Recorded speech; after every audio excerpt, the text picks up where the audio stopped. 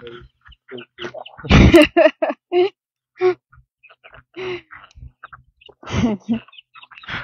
និយាយមុន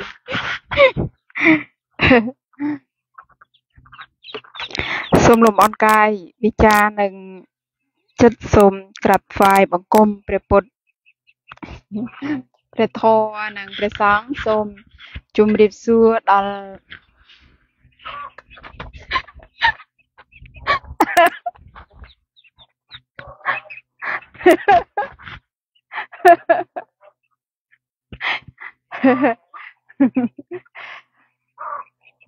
តើបងប្អូនកុំឃើញសូភាសាយនោះមានសាយតាមសូភាហើយសាយយ៉ាងណាសាយអត់ដឹងយើង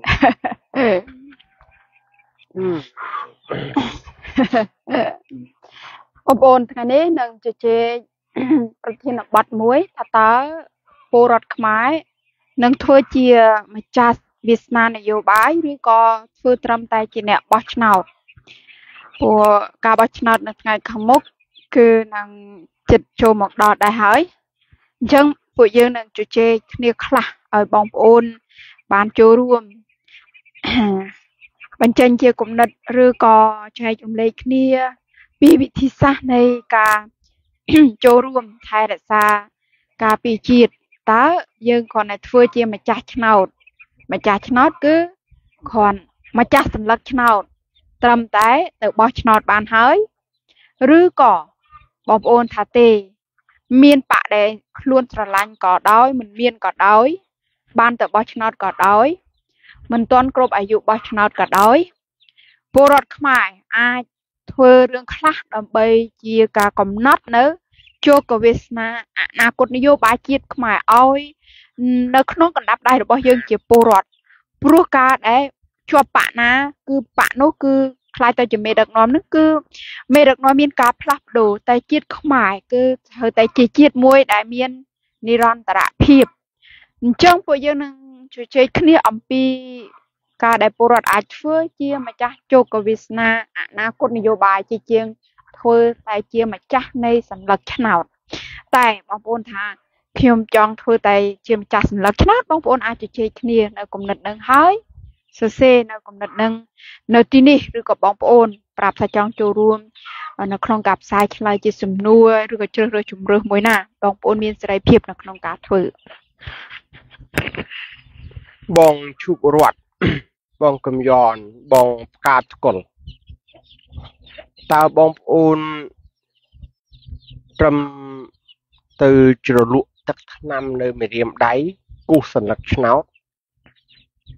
ខឹងបួម៉ៅក្តៅក្រហាយដែលគ្មានបាក់បោះឆ្នោតឲ្យឬក៏បោះឆ្នោតឲ្យគណៈបករបស់ខ្លួនតែមិនដែលបានមានសម្លេងក្នុងសភាជាតិឬក៏បោះឆ្នោតទៅមានសម្លេងក្នុងសភាជាតិដែរតែឆ្លោះប្រកែកទាស់ទែងគ្នា ឬក៏បោះឆ្នោតទៅនឹងបានបកដែលយើងស្រឡាញ់ដែរប៉ុន្តែដឹកនាំប្រទេសយូរយូរទៅធ្វើឲ្យបងប្អូនមានវិបត្តិធ្ងន់ធ្ងរទាំងសេដ្ឋកិច្ចហិរញ្ញវត្ថុទាំងចំនួននយោបាយក្នុងប្រទេសទាំងរឿងច្របូកច្របល់រឿងចំនួនក្នុងតំបន់និងអន្តរជាតិឬក៏បងប្អូនយល់ថាមិនបាច់ខ្វល់អីទាំងអស់គេចង់ដឹកនាំប្រទេសខ្មែរទៅឯណាក៏ដឹកទៅវាគ្មានប៉ះពាល់អីធំដុំទេប្រៀបធៀបដូចជាផែនដីវិល អ្នកមីងយោអូនផែនដីវិលហើយយើងក៏ថាផែនដីវិលស្អីអញនៅនឹងមកជីវិតអញហើយអញមិនដែលឃើញអញផ្លាស់ទៅណាផងនៅហ្នឹងពាក្យថាវិលមិនក៏អញមិនដឹងណាមែនអត់បងប្អូនផែនដីវិលយើងអត់ដឹងដល់រៀនបានដឹងហើយចោះរៀនមិនក៏យើងជឿអ្នករៀនថាគេមានការ វិភាគតាមវិទ្យាសាស្ត្រយើងមិនដែលឃើញផែនដីវិលខ្លួនឯងទេផងមិនក៏ជឿមែនណាមិនអញ្ចឹងអីប៉ុន្តែដឹងថាមានយប់ថ្ងៃអត់ចោះឥឡូវថាផែនដីអត់វិលទេប៉ុន្តែដឹងថាមានយប់ថ្ងៃអត់ចោះដឹងដឹងថាមានរដូវអត់ចោះរដូវមានរដូវក្តៅរដូវត្រជាក់មានរដូវភ្លៀងមានរដូវអត់ភ្លៀងអត់ដឹងហ៎ហ៎បន្ទាប់មកទៀត ហើយចោះចេះរាប់ថ្ងៃអត់ចោះច័ន្ទអង្គារពុទ្ធប្រហោះសុកសាអាទិត្យច័ន្ទអង្គារពុទ្ធប្រហោះសុកសាអាទិត្យចេះរាប់អត់ចោះហើយចេះរាប់ខែអត់ចោះមកចេះបានន័យថាផែនដីវិលបងឆោមសវិនចេះរាប់តាមគេទៅចំណាំតគ្នាបាទយើងមិនដែលឃើញផែនដីវិលទេព្រោះផែនដីវាមានទំហំធំធំមហិមាប្រៀបធៀបជាមួយនឹងរូបកាយយើងបងប្អូនដាក់ស្រមោចទុំនៅលើផ្លែប៉ោម ឬក៏ទុំនៅលើផ្លែក្រូចហើយបង្វិលបងប្អូនបង្វិលទៅស្រមោចវាគ្មានខំប្រឹងស្អិតជើងវាជាប់ជាមួយនឹងផ្លែប៉ោមនឹងទេឬក៏ដាក់នឹងជាប់បាល់ហើយយើងបង្វិលបាល់ទៅវាអត់ជ្រុះទៅណាទេហើយបើស្រមោចចេះនិយាយជាសាក់សួរស្រមោចនោះទៅវា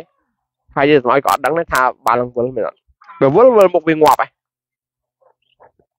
ទេខ្ញុំគ្រាន់តែឧទាហរណ៍ខ្លះខ្លះទេបងសង្គមកម្ពុជាយកវិទ្យាសាស្ត្រ យកមកចែករំលែកណាបងមិនតើចង់ឲ្យមេដឹកនាំខ្មែរដឹកនាំយើងទៅឯណាទៅតាមតែអំពើចិត្តរបស់គាត់ឬក៏ជនរួមភាសាត្រូវធ្វើជាម្ចាស់សញ្ញាឆ្នោតបងតេសកឹមលី បងកឹមលីតេសអ្នកមីងយូន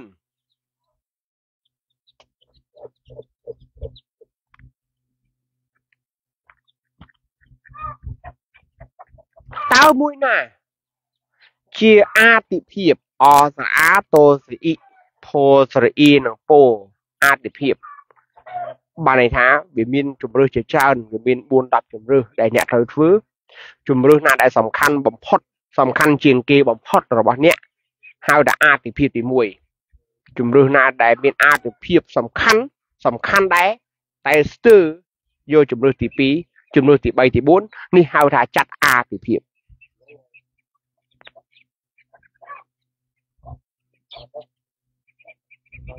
បងកំឡុង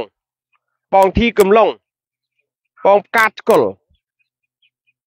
បងថាវីអ៊ូ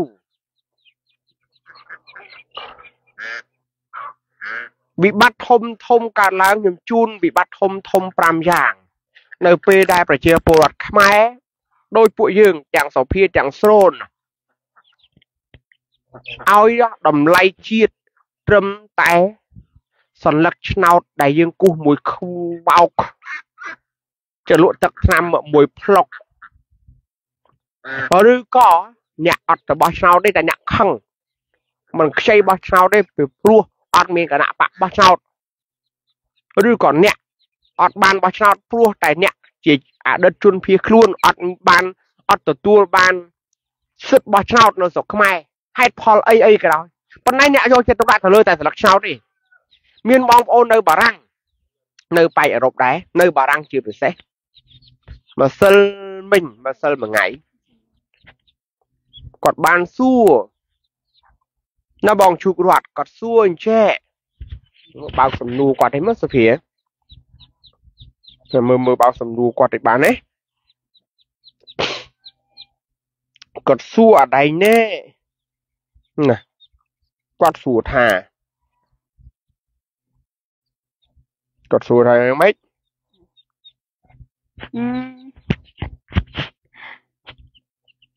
ឈប់ឈប់សំរុញតន្តិចសិន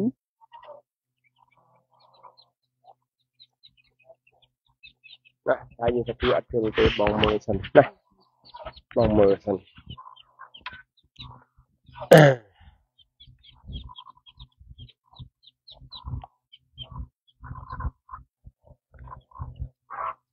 នៅត្រង់នេះគឺគាត់ចង់សួរថាតើ គាត់តើអ្នកទាំងអស់គ្នាមានអារម្មណ៍យ៉ាងម៉េចបន្ទាប់ពីមានគណៈបកមួយអំពាវនាវឲ្យប្រជាពលរដ្ឋខ្មែរដែលជាអតីតជនភៀសខ្លួន ជាកូនចៅជនភៀសខ្លួន នៅស្រុកគេនោះចូលរួមយ៉ាងស្រសាក់ស្រស្រាំជួយឧបត្ថម្ភជំរុញលើកទឹកចិត្តណា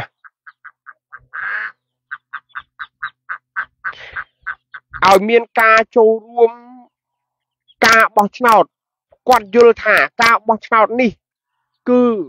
មានសារៈសំខាន់ណាស់សម្រាប់អ្នកប្រជាធិបតេយ្យអញ្ចឹងគាត់ឲ្យជួយជាថវិកាគាត់ឲ្យជួយជាលុយកាក់ដើម្បីឲ្យអ្នកប្រជាធិបតេយ្យនៅស្រុកខ្មែរមានឱកាស សម្រាប់ជោគវាសនាជាតិរបស់ខ្លួនកុំច្រឡំតែខ្ញុំវាយប្រហារនឹងគណៈបកនឹងណាខ្ញុំអត់ធ្វើទេកុំច្រឡំអីកុំកុំច្រឡំប៉ុន្តែបើច្រឡំក៏ច្រឡំទៅ ពីព្រោះក្នុងនាមជាអ្នកដែលខ្លាចជាតិខ្មែរបាត់បង់ខ្លាចលទ្ធិប្រជាធិបតេយ្យសេរីពហុបកខ្មែររលំរលាយខ្លាចសិទ្ធិសេរីភាពពូជ អំបូរខ្មែរត្រូវបានគេរំលោភទៅខំប្រឹងយករឿងហ្នឹងមកនិយាយ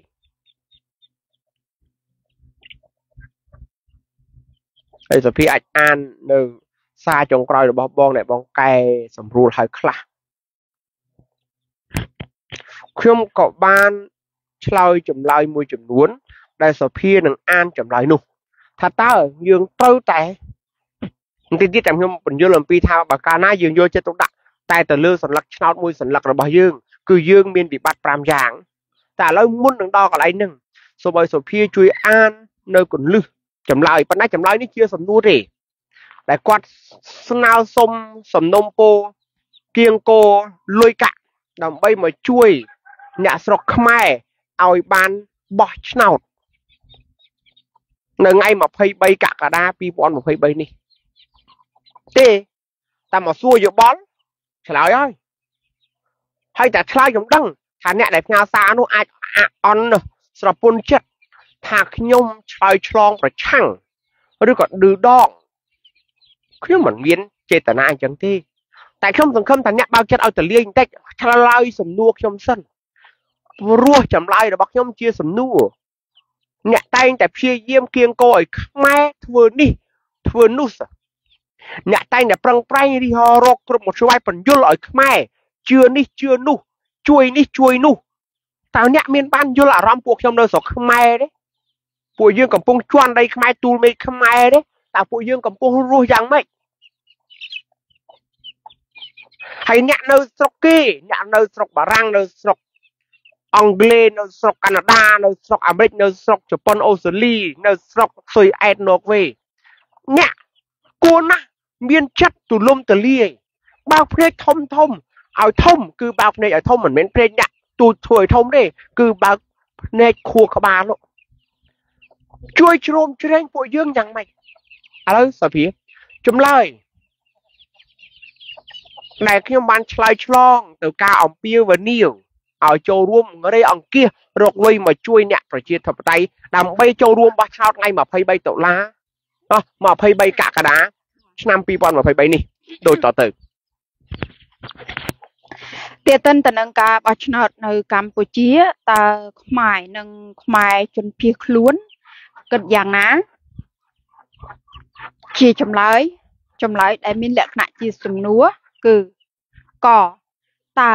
ដំណើរការរៀបចំការបោះឆ្នោត មានលក្ខណៈសេរីនិងត្រឹមត្រូវទេ បើអត់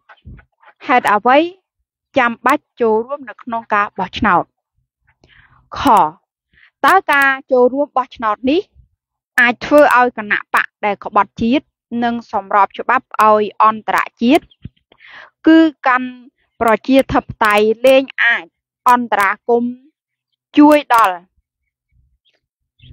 ប្រជាធិបតេយ្យនៅកម្ពុជាទេហេតុអ្វីឈប់រៀនបញ្យល់តិចបានទេ អានបែបហ្នឹងគឺបងប្អូនស្ដាប់ទៅបានបញ្ចូលជឿនេះយល់យល់សំណួរហ្នឹងទេឬក៏អានតតាមយល់សំណួរទេសំណួរទី1ចាយល់យល់បកស្រាយតិចមកបងប្អូនអញ្ចឹងអ្វីដែលខ្ញុំសូមធ្វើការចែករំលែកព្រោះស្មានតែឲ្យអានចម្លើយជូនបងប្អូនទាំងស្រុងអញ្ចឹងចាអញ្ចឹងនៅក្នុងគំនិតនេះថាតេតិនទៅនឹងការបោះឆ្នោតនៅកម្ពុជា តើខ្មែរហើយនឹងជនភៀសខ្លួនគិតយ៉ាងណាយើងចំណុចកថាអ្វីដែលខ្ញុំយល់ថាបងប្អូនខ្មែរឬក៏បងប្អូនខ្មែរជាជនភៀសខ្លួនចូលរួមនៅក្នុងការបោះឆ្នោតក៏ដោយមិនចូលរួមក៏ដោយប៉ុន្តែយើងត្រូវទៅមើលថាតើដំណើរការនៃការរៀបចំការបោះឆ្នោតសេរីនិងត្រឹមត្រូវហើយឬនៅបើយើងអត់ចេះមើលកន្លែងនេះទេ យើងថាយើងចូលចុះ បើការបោះឆ្នោតគ្រាន់តែរៀបចំដើម្បីបង្ក្រប់កិច្ចយើងដូចទៅចូលរួមនៅក្នុងការក្បត់ជាតិអញ្ចឹងទោះបីជាយើងគ្មានចេតនាក៏ដោយបើយើងដឹងថាការបោះឆ្នោតគឺមិនសេរីមិនត្រឹមត្រូវទេអញ្ចឹងយើងមានចម្លើយបាត់ទៅហើយថាយើងសម្រេចចិត្តយ៉ាងណាសម្រេចចិត្តក្នុងការចូលរួមក្នុងការបោះឆ្នោតឬក៏អត់ហើយបើចូលរួមតើហេតុអីបានជា ចាំបាច់ចូលរួមនៅក្នុងការបោះឆ្នោតអញ្ចឹងនេះគឺជាគំនិតទី1ដែលឲ្យបងប្អូនរៀនមើលអំពីថាតើដំណើរការនៃការរៀបចំការបោះឆ្នោតដែលមានតួអង្គយ៉ាងហោចណាស់5ថាតើមានសេរីភាពនិងពួកគេអាចធ្វើទៅតាមទួនាទីកាតព្វកិច្ចក្រមសីលធម៌វិជ្ជាជីវៈរបស់ពួកគេហើយនៅ ដើម្បីធានាកំណត់ថា ដំណើរការនៃការបោះឆ្នោតសេរីនិងត្រឹមត្រូវតួអង្គ ដែលពាក់ព័ន្ធនោះគឺប្រជាពលរដ្ឋតើពលរដ្ឋក្នុងស្រុកក្រៅស្រុកជនភៀសខ្លួន បានធ្វើជាម្ចាស់នៃអំណាចធ្វើជាម្ចាស់នៃសំដៅម្ចាស់នៃអំណាចនឹងអាចប្រើប្រាស់អំណាចរបស់ពលរដ្ឋហើយរនៅឬក៏ត្រូវបានសម្លុតគម្រាមកំហែងឬក៏ពលរដ្ឋអត់ចេះច្បាប់អត់ចេះស្គាល់អំពីមេដឹកនាំនយោបាយអត់ចេះស្គាល់យល់អំពីបេក្ខជននៃគណៈបកនយោបាយជាដើម តួអង្គទី2ដែលយើងអាចមើលអំពីដំណើរការនៃការចូលរួម ដើម្បីបញ្ជាក់ថា គឺជាដំណើរការនៃការបោះឆ្នោតដោយសេរីនិងត្រឹមត្រូវគឺយើងមើលទៅលើគោជបតើគោជបឯករាជ្យតើគោជបមានអព្យាក្រឹតភាពតើគោជបមានដំណាភាពហើយឬនៅតើគោជបបានរៀបចំឲ្យពលរដ្ឋចេះបង្កើតជាសំណួរ ឲ្យពលរដ្ឋអាចដេញដោលសួរទៅដល់គណៈបកនយោបាយនិងចេះធ្វើការតាមដាន នៅរាល់គណៈបកនយោបាយបេក្ខជនដែលនឹងជាប់ឆ្នោតនៅក្នុងការបោះឆ្នោតហើយឬនៅតួអង្គទី3ដើម្បីឲ្យយើងអាចមានគំនិតថាចូលរួមបញ្ជាក់ថាដំណើរការនៃការបោះឆ្នោតសេរីនិងត្រឹមត្រូវគឺតួអង្គនៃអាជ្ញាធរមានសមត្ថកិច្ចគឺតុលាការប៉ូលីស PM និងយោធាដែលជាស្ថាប័ន ចូលរួមធ្វើឲ្យមានសន្តិសុខសន្តិភាពធានាបរិយាកាសនយោបាយអភិជាក្រិតបរិយាកាសនៃការរៀបចំការបោះឆ្នោតកុំឲ្យមានអំពើពុករលួយកុំឲ្យមានការសម្លុតគំរាមកំហែងឬក៏ទុកគណៈបកឬក៏ទុកបេក្ខជនទាំងឡាយណា ដែលខុសពីក្រមសីលធម៌វិជ្ជាជីវៈហើយនៅតែទុកឲ្យចូលរួមនៅក្នុងការបោះឆ្នោត និងតួអង្គទី4គឺអ្នកសង្កេតការជាតិអ្នកសង្កេតការអន្តរជាតិត្រូវតែមានសិទ្ធិមានសេរីភាពនិងទី5គឺគណៈបកនយោបាយមិនថាតែគណៈបកនយោបាយតូចគណៈបកនយោបាយធំគឺត្រូវតែមានសិទ្ធិនៅក្នុងការចូលរួមនៅក្នុងការបោះឆ្នោតហើយជាពិសេសត្រូវធានាថាគណៈបកនយោបាយនឹងគឺជាគណៈបកនយោបាយតាមបែបប្រជាធិបតេយ្យដែលរូបមន្តនៅក្នុងអបសម្ព័ន្ធទី3គឺជារូបមន្តនៃការបង្កើតគណៈបក ជាគណៈបកនយោបាយតាមបែបប្រជាធិបតេយ្យអញ្ចឹងអ្វីដែលខ្ញុំយល់នៅក្នុងចំណុចទី1តេតិននឹងម្ចាស់សំណួរតេតិនជាមួយនឹងការអំពាវនាវថា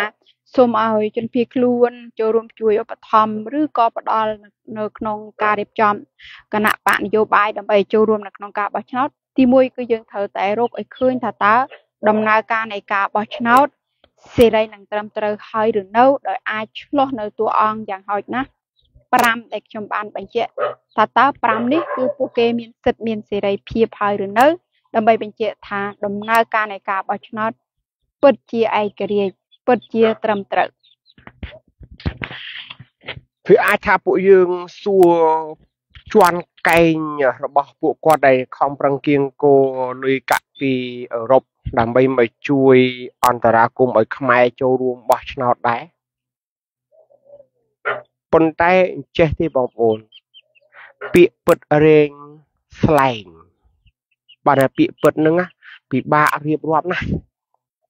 វាទៅទៅពេលដែលយើងសួរទៅនឹងគេចោទមកយើងថាពួកនេះពួកប្រឆាំងនឹងគណៈបកប្រឆាំងពួកប្រឆាំងនឹងគណៈបកដឹកនាំប្រទេសវាទៅជាអញ្ចឹងទៅទៀតកុំច្រឡំថាខ្ញុំកំពុងតែដោះសារថាថាទៅខ្ញុំគាត់ចង់បញ្ជាក់ថាពេលដែលអ្នកគៀងគោពួកយើងឲ្យរកលុយ គាត់មិនមិនគៀងគោខ្ញុំទេប៉ុន្តែខ្ញុំនៅក្នុងក្រុមនឹងដែរហើយខ្ញុំឃើញទៅបងប្អូនខ្មែរនៅអឺរ៉ុបទទួលបានសារនឹងគេផ្ញើសារជាលិខិតមកដើម្បីឲ្យគៀងគោបងប្អូននៅអឺរ៉ុបនឹងយកលុយមកជួយអឺចូលរួមការបោះឆ្នោតថ្ងៃ23ខែកក្កដាហ្នឹងខ្ញុំបញ្ជាក់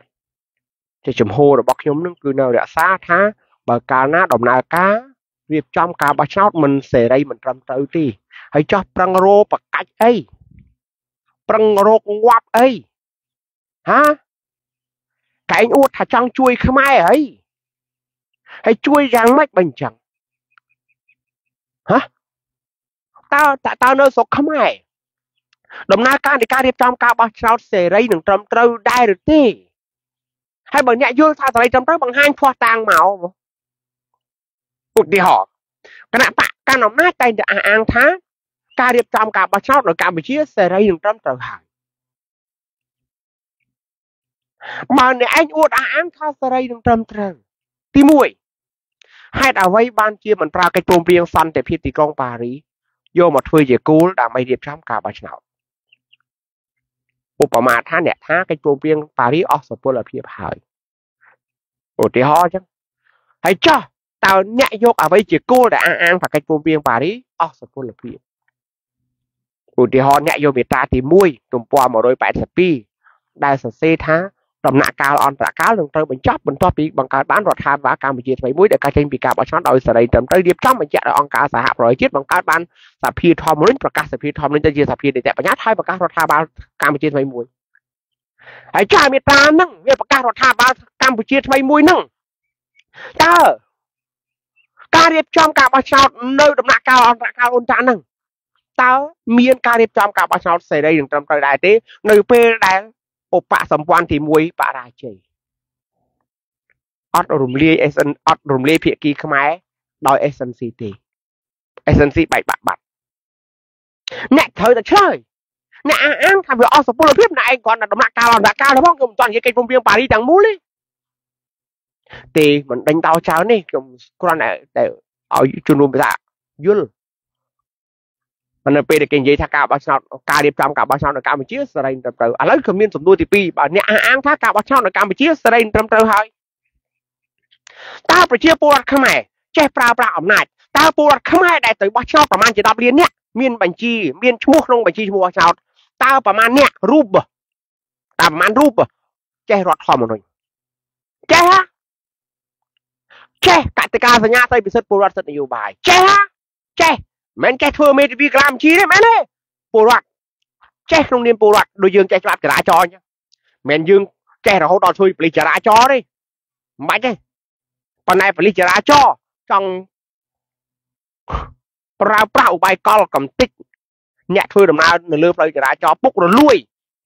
គឺមិនមិនមិនមិនងាយទេនៅពេលដែលយើងចេះច្បាប់ចរាចរណ៍ហ្នឹងតែប៉ុណ្ណឹងទេ បើបងប្អូនមកសួរខ្ញុំហើយចោះស្រណៃចង់និយាយថានៅកម្ពុជាការរៀបចំការបោះឆ្នោតមិនសេរីមិនទាន់សេរីនិងមិនទាន់ត្រឹមត្រូវទេមែនទេចម្លើយឆ្លើយថាហើយចោះខ្ញុំសួរហើយតើចម្លើយខ្ញុំនៅខាងលើនោះបើការបោះឆ្នោតសេរីត្រឹមត្រូវជួយបង្ហាញមកហេតុអ្វីមិនយកកិច្ចព្រមព្រៀងប៉ារីសទៅប្រើនោះចម្លើយខ្ញុំចម្លើយខ្ញុំថាបើចង់ដឹងថាការបោះឆ្នោតសេរីមិនសេរីត្រឹមត្រូវមិនត្រឹមត្រូវសួរមើលពលរដ្ឋខ្មែរចេះប្រើអំណាចខ្លួនឯងនៅ មិនក៏នៅតែមកសួរខ្ញុំទៀតបើឆ្លាឡើយហើយហើយហ្នឹងមិនចឹងមិនចឹងតើគោជោបចេះធ្វើនយោបាយអត់នេះសំណួរមួយទៀតដែរបើចង់ដឹងបើសួរថាវិញសូនឯងចង់និយាយថាការបោះឆ្នោតនៅកម្ពុជានឹងការរៀបចំការបោះឆ្នោតសេរីមិនទាន់សេរីមិនទាន់ត្រឹមត្រូវពិតពិតចម្លើយខ្ញុំឆ្លើយហើយតើគោជោបតើមន្ត្រីគោជោបចេះច្បាប់គោជោបអត់ចេះច្បាប់បោះឆ្នោតអត់ចេះកតិកាសញ្ញាអនុសញ្ញាចេះកតិកាសញ្ញាអន្តរជាតិស្ដីពីសិទ្ធិពលរដ្ឋសិទ្ធិនយោបាយអត់ តើមន្ត្រីគោជោបចេះបង្រៀនពលរដ្ឋខ្មែរឲ្យចេះប្រើអំណាចអត់តើមន្ត្រីគោជោបមានបង្រៀនពលរដ្ឋខ្មែរអំពីសិទ្ធិនៅក្នុងរដ្ឋធម្មនុញ្ញចំពុកទី3អត់តើមន្ត្រីគោជោបមានបង្រៀនពលរដ្ឋខ្មែរអំពីប្រវត្តិរបស់លោកហ៊ុនសែនប្រវត្តិរបស់គណៈបកប្រជាជន អំពីរូបប្រវត្តិរូបរូបរបស់បេក្ខជនតំណាងរាស្ត្រនីមួយៗមានបង្រៀនអត់តិចសាពលរដ្ឋខ្មែរសួរថាតើលោកនឹងតំណាងរាស្ត្រនឹងឈ្មោះអីមកពីណាតិចមន្ត្រីគោជោបអត់ស្គាល់ឈ្មោះចុះតែមន្ត្រីគោជោបអត់ស្គាល់ប្រវត្តិប្រវត្តិរូបរបស់អ្នកអង្គចុះ អ្នកឯងដាក់បេក្ខជនតំណាងរាស្ត្រឲ្យពលរដ្ឋខ្មែរបោះឆ្នោតចាំអ្នកឯងរើសឆ្កែឲ្យពួកយើងបោះឆ្នោតរើសស្វាឲ្យពួកយើងបោះឆ្នោតរើសខ្លារើសតោលើសរើសពួកវែកឲ្យពួកយើងបោះឆ្នោតអ្នកឯងអត់មានដឹងខ្យល់អីទេមន្ត្រីគោចូលបោះត្រូវស្គាល់ប្រវត្តិរបស់បេក្ខជននីមួយៗច្បាស់ជាងពលរដ្ឋបានបានទើបអាចបង្រៀនពលរដ្ឋឲ្យយល់អំពីបេក្ខភាពនីមួយៗ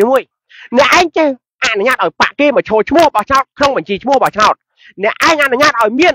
តំណាងរាស្ត្ររបស់បកនីមួយៗមានឈ្មោះក្នុងបញ្ជីឈ្មោះបោះឆ្នោតហើយអ្វីអ្នកមិនស្គាល់ហើយឲ្យពួកយើងរើសហាអ្នកឯងដាក់ក្នុងប្រអប់គឺសត្វតែពោះវែកពោះវែកពោះពឹសគ្រប់ប្រភេទហើយអ្នកឯងឲ្យខ្មែរលូកដៃចូលក្នុងប្រអប់ពោះវែកពោះពឹសហើយមកសួរថាពេលដែលសត្វពោះពឹសចាក់ងាប់ឬក៏មិនងាប់ហាមិនចឹងទេខ្ញុំមិនបានថាគោជោបអាក្រក់ទេ ខ្ញុំមិនបានថាទេខ្ញុំសួរឆ្លើយទៅពួកអ្នកមកសួរខ្ញុំថាតើរាល់ថ្ងៃនឹងស្រនឯងយល់ថាការបោះឆ្នោតនៅកម្ពុជាសេរីត្រឹមត្រូវទេការរៀបចំការបោះឆ្នោតហ្នឹងមន្ត្រីគោជោបក៏ដោយចម្លើយឆ្លើយអស់ហើយតើ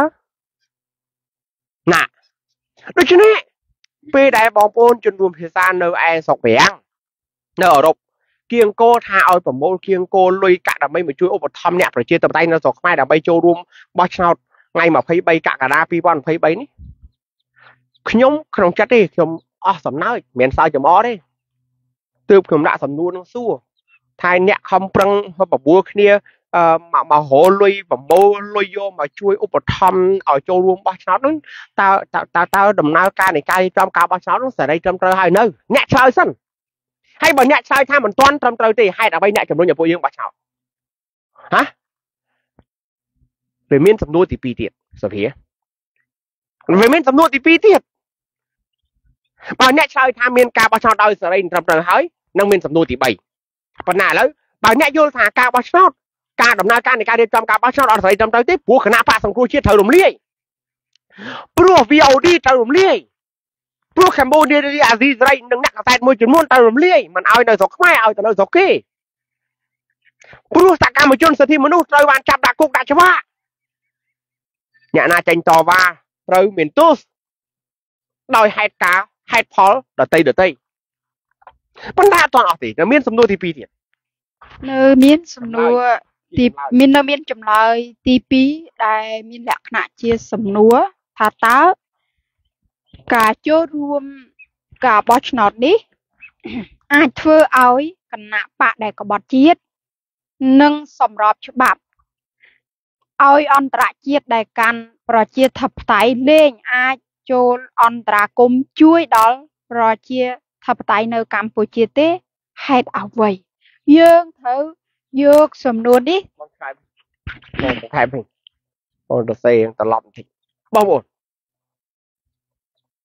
បើចម្លើយទី1អមមិញអ្នកយល់ថាដំណើរការនៃការរៀបចំការបោះឆ្នោតវាមើលទៅវាមិនប្រក្រតីទេព្រោះគោជោប មានតែឯកបៈទេមន្ត្រីគោជោបឯកបៈទេអាញាធัวមានសមត្ថកិច្ចហើយនឹងតឡាការកំពុងតែស្ថិតនៅក្នុងស្ថានភាពមួយដែលត្រូវបានពលរដ្ឋខ្មែរទុកចោលឬក៏មិនចង់ប្រើប្រាស់ហើយបើប្រើប្រាស់គឺគិតតែពុករលួយពុករលួយជាប្រព័ន្ធបើអ្នកយល់ថាដំណើរការនៃការរៀបចំការបោះឆ្នោតអ្នកមិនទាន់ច្បាស់ថាសេរីមិនសេរីត្រឹមត្រូវមិនត្រឹមត្រូវឧទាហរណ៍អញ្ចឹងមិនច្បាស់ទេ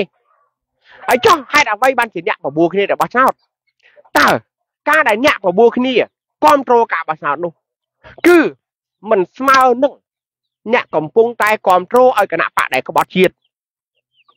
សម្របច្បាប់ដែលធ្វើឲ្យអន្តរជាតិដែលមានបំណង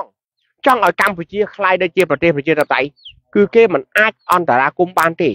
មែនទេអត់ទេប៉ុណ្ណឹងកុំឲ្យជ្រៅជាងនឹងសុភាព្រោះมันអាចឲ្យជ្រៅជាងនឹងទេទុកឲ្យបងប្អូនពិចារណាទេ ពីព្រោះនេះជាសំណួរมันបានចោតប្រកាន់ថាការដឹកនាំរៀបចំការបោះឆ្នោតនោះវាមិនសេរីមិនត្រឹមត្រូវទេប៉ុន្តែបើអ្នកឆ្លើយថាអ្នកមិនដឹងច្បាស់ថាការបោះឆ្នោតនៅស្រុកខ្មែរការរៀបចំដំណើរការនៃការបោះឆ្នោតសេរីត្រឹមត្រូវមិនត្រឹមសេរីមិនត្រឹមត្រូវហើយចុះបើអ្នកមិនដឹងច្បាស់ទេអានឹងវាមិនខុសអញ្ចឹងអ្នកផឹកឆ្នាំអ្នកមិនច្បាស់ទេថាឆ្នាំនឹងឆ្នាំពុលឬក៏ឆ្នាំបន្សាបអ្នកឆ្នាំពុលឬក៏ឆ្នាំព្យាបាលជំងឺហើយអ្នកចេះតែផឹក តែអ្នកមានឱកាសងាប់ទេបើវាជាឆ្នាំពុលអ្នកអាចមានឱកាសរស់ប៉ុន្តែវាអាចមានឱកាសរស់ងាប់ទេតែអាចហើយក៏បើអាចមានកណ្ដឹងតែផឹកបើអ្នកអត់ស្គាល់ឆ្នាំនឹងច្បាស់ផងមិនចឹង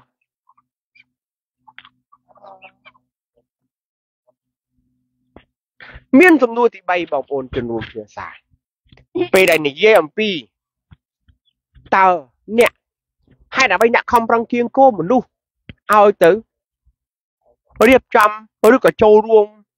បោះឆ្នោតថ្ងៃ23កក្កដាឆ្នាំ2023អ្នកគួរតែសួរខ្លួនឯងហើយឆ្លើយទៀតបងវត្តជូបងពូទីថ្ងៃការវាងអ្នកប្រើប្រាស់ធម៌ពលកាយវាចាចិត្តឲ្យអស់សមត្ថភាពនិងលទ្ធភាពរបស់អ្នកដើម្បីពន្យល់អប់រំបណ្ដុះបណ្ដាលពលរដ្ឋខ្មែរឲ្យคล้ายទៅជាម្ចាស់ជោគវាសនានយោបាយជាតិនិង អ្នកប្រើប្រាស់កាយវាចាចិត្តរបស់អ្នកឲ្យអស់លទ្ធភាពសមត្ថភាព ដែលអ្នកអាចធ្វើទៅបាន ដើម្បីឲ្យទៅចូលរួមបោះឆ្នោតចូលរួមបោះឆ្នោតតើការប្រើប្រាស់ធម៌ពលមួយណាកាយវាចាចិត្តមួយណាថ្ងៃនេះចម្លែកអាមួយនេះទើបយកមកពីស្រុកកំណើតរបស់ខ្ញុំឲ្យខ្ញុំទិញឲ្យបងប្រុសខ្ញុំចិញ្ចឹម ឥឡូវនឹងកូនទី6ហើយហើយមើលទៅនៅទីនោះអត់មានអីឲ្យស៊ីច្រើនឥឡូវយកមកចិញ្ចឹមទុកខ្លួនឯងទុកជាអនុស្សាវរីយ៍ទេណាកូនច្រើនពេក thế rồi ថ្ងៃនោះខ្ញុំចម្លែកគូបងប្អូនជនរួមភាសាម្ដងទៀត រវាងយើងប្រើប្រាស់កាយវាចាចិត្តរបស់យើងទាំងកាយក្តីវាចាចៃក្តីចិត្តក្តីកាយគឺសកម្មភាពនានាវាចាការនិយាយស្ដីសូត្រកំណាត់ចម្រៀងចិត្តការសម្រេចចិត្តការត្រេះរិះពិចារណារបស់យើងឲ្យអស់សមត្ថភាពគឺចំណេះដឹងជំនាញបទពិសោធន៍របស់យើងឲ្យអស់លទ្ធភាពលុយកាក់ថាវិការទ្រព្យសម្បត្តិនានាពេលវេលារបស់យើងដើម្បីបណ្ដុះបណ្ដាលអប់រំចែករំលែកពលរដ្ឋខ្មែរឲ្យចេះប្រើអំណាចឲ្យខ្លាយទៅជាម្ចាស់ជោគអវាសនានយោបាយជាតិហើយនឹង យើងបបួលពលរដ្ឋខ្មែរគិតទៅពីដើរតាមតែស្លឹកឆ្នោតទៅ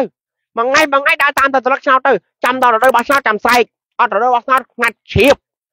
ដល់រដូវបោះឆ្នោតនឹងបាក់ចេញមកពីណាទេមកឲ្យស៊ូស្ទាសម្បើមណាស់ផ្សព្វផ្សាយផ្សព្វផ្សាយគ្រាន់តែបោះឆ្នោតហើយមិនទាន់បានកន្លះខែផងស្ងាត់ជ្រាបយើងធ្វើតាមរដូវអញ្ចឹងតើអ្នកគួរតែអតិភិបជោគមួយណាសុភាបើចម្លើយសុភាវិញបងសួរ បបួគ្នាគៀងកោចាយលុយអស់រាប់ម៉ឺនសែនលានដុល្លារចាយលុយចាយពេលវេលាទ្រព្យសម្បត្តិរបស់យើងកាយវាចាចិត្តរបស់យើងលទ្ធភាពសម្បត្តិភាពរបស់យើងចាយអស់ហើយទៅបណ្ដុះបណ្ដាលពូជខ្មែរពីបច្ចុប្បន្នទៅអនាគតឲ្យខ្លាយទៅជាម្ចាស់ជោគឲ្យវាសនានយោបាយជាតិនិងប្រើប្រាស់កាយវាចាចិត្តរបស់យើងឲ្យអស់លទ្ធភាពសមត្ថភាពតែដើម្បីតែដល់ថ្ងៃដល់ខែធ្វើតាមរដូវដល់ថ្ងៃបោះឆ្នោតស្រែកដល់ថ្ងៃបោះឆ្នោតស្រែក3 4ខែ4ថ្ងៃបោះឆ្នោតស្រែកស្រែកស្រែក ប្រើកាយវាចាចិត្តលួយចាយអស់ហើយលក់អស់ហើយទីទីដើម្បីចូលរួមការបោះឆ្នោតក្រោយការបោះឆ្នោតកន្លះខែមួយខែស្ងាត់ជ្រាបហើយអង្គុយយំអង្គុយមើលងាយអង្គុយមើលថោកមេដឹកនាំខ្លួនឯងឃើញមេដឹកនាំខ្មែរអាក្រក់ក្បត់ជាតិអង្គុយជេរឃើញមេដឹកនាំខ្មែរបំផ្លាញសង្គមអង្គុយជេរបញ្ចោឬក៏អង្គុយតែសរសើរថាមេដឹកនាំល្អល្អល្អល្អប៉ុន្តែមិនដឹងល្អស្អីទេដឹងតែល្អ តើផ្លូវមួយណាដែលសុភាសម្រេចឬសូមជឿ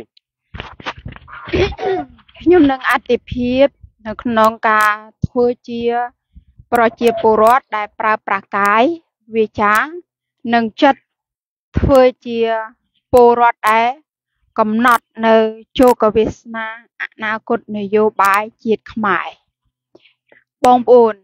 បើពួកយើងមិនអាចធ្វើជាពលរដ្ឋជាម្ចាស់នៃអំណាច បើយើង ស្របតាមច្បាប់ បានឲ្យពលរដ្ឋជាម្ចាស់នៃជោគវាសនាជាតិហើយយើងអត់ធ្វើទេ ហើយបងប្អូនថា យើងយកការបោះឆ្នោតនោះគឺជាការកំណត់អនាគតជាតិទៅវិញ គឺมันអាចទេ ព្រោះនៅក្នុងរដ្ឋធម្មនុញ្ញមាត្រា51ថាពលរដ្ឋត្រូវធ្វើជា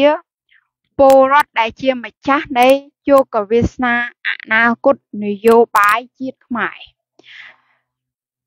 ធ្វើជាម្ចាស់នៃអនាគតធ្វើជាម្ចាស់នៃជោគវាសនាអនាគតនយោបាយជាតិខ្មែរមានរឿងមួយចំនួនដែលបងប្អូនអាចធ្វើបាន ក្នុងនោះគឺស្រាយចំណុចកស្រាយចំណុចកដែលធ្វើឲ្យដំណើរការនៃការបោះឆ្នោតសេរីនិងត្រឹមត្រូវ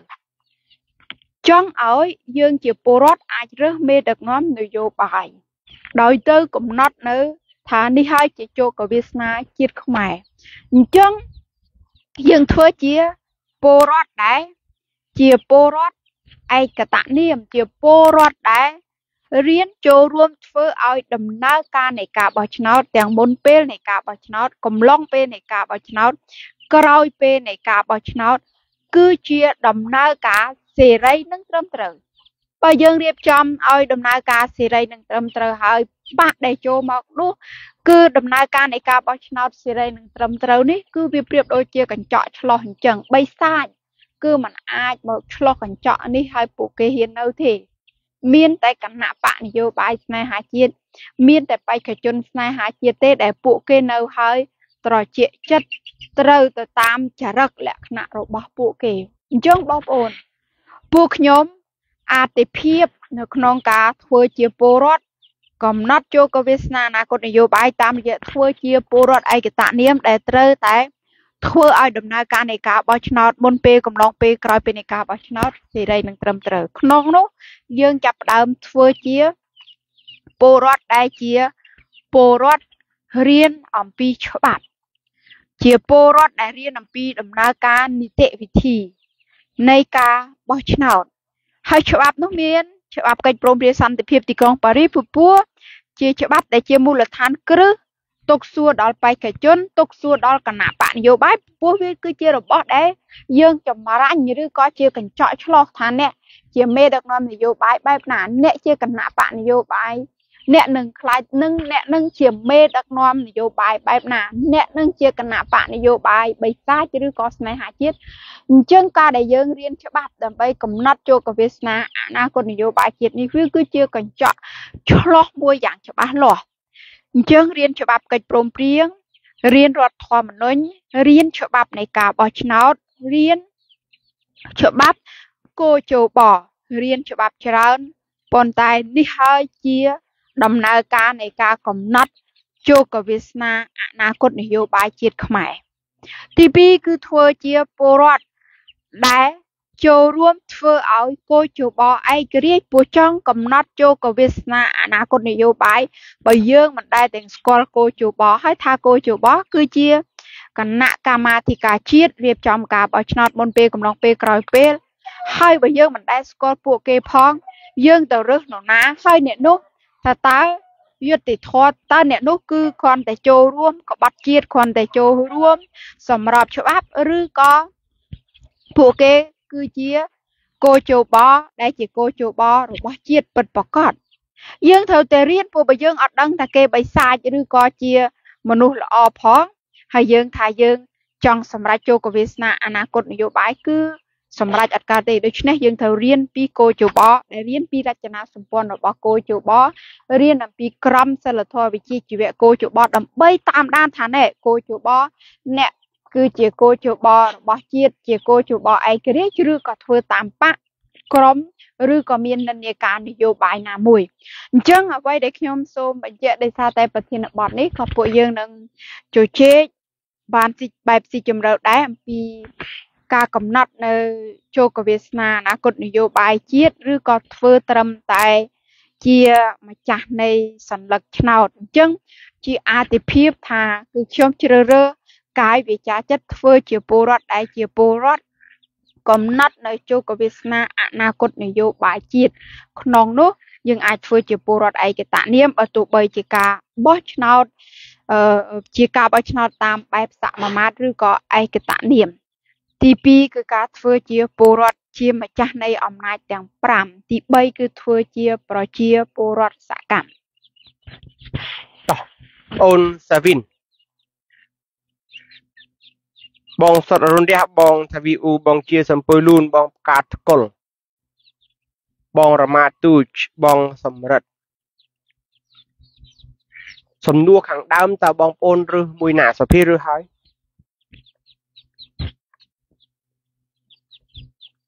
តើជនរួមភាសាចូលរួមកំណត់ជួកវាសនានយោបាយជាតិឬក៏បងប្អូនត្រឹមតែកាងសัญลักษณ์ឆ្នោតដល់រដូវបោះឆ្នោតចេញកាងមកហើយវូនិយាយពីឃោសនាម៉ែឪអាថ្លែនជាដូនមួយអាបកួយជាទួតមួយអាអាជាជាលួតមួយអាប្រពើ អានោះអីទៀតចលាមួយហើយគេអាតកួត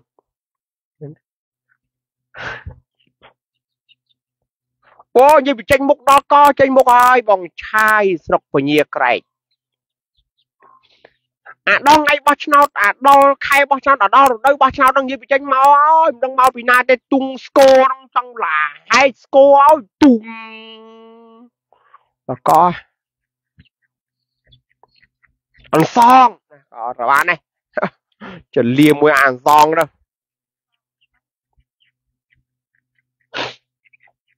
ទេទេបងប្អូនជួយឆ្លើយតាមបងប្អូនសម្រាប់យក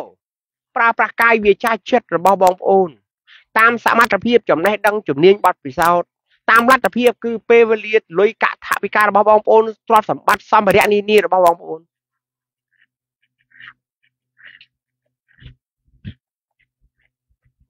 ដើម្បីការពារនៅជួរកវាសនានយោបាយជាតិឬក៏បងប្អូន ប្រើប្រាស់អស់លទ្ធភាពសមត្ថភាព ដើម្បីការពារសន្តិឆ្នោតគឺកាងសន្តិឆ្នោតធ្វើជើងកាងតែម្ដងបងហៀរតនៈបងសំណាងបងប្អូនអត់ឆ្លើយទេចម្លើយទី1បងប្អូនឆ្លើយថាខ្ញុំត្រូវតែធ្វើជាម្ចាស់ជួបវាសនានយោបាយដើម្បីធ្វើជាម្ចាស់ ជួបវាសនានយោបាយខ្ញុំត្រូវធ្វើចុចចុចតាមអ្វីដែលបងប្អូនអាចសរសេរនិយាយចេញឬក៏ចម្លើយទី2បងប្អូនឆ្លើយថាទេខ្ញុំឲ្យតែបោះឆ្នោតអាចបដូរមេដឹកនាំបានណាណាអ្នកមីងកំសូនណាអ្នកមីងកំសូនឆ្លើយហើយគឺចូលរួម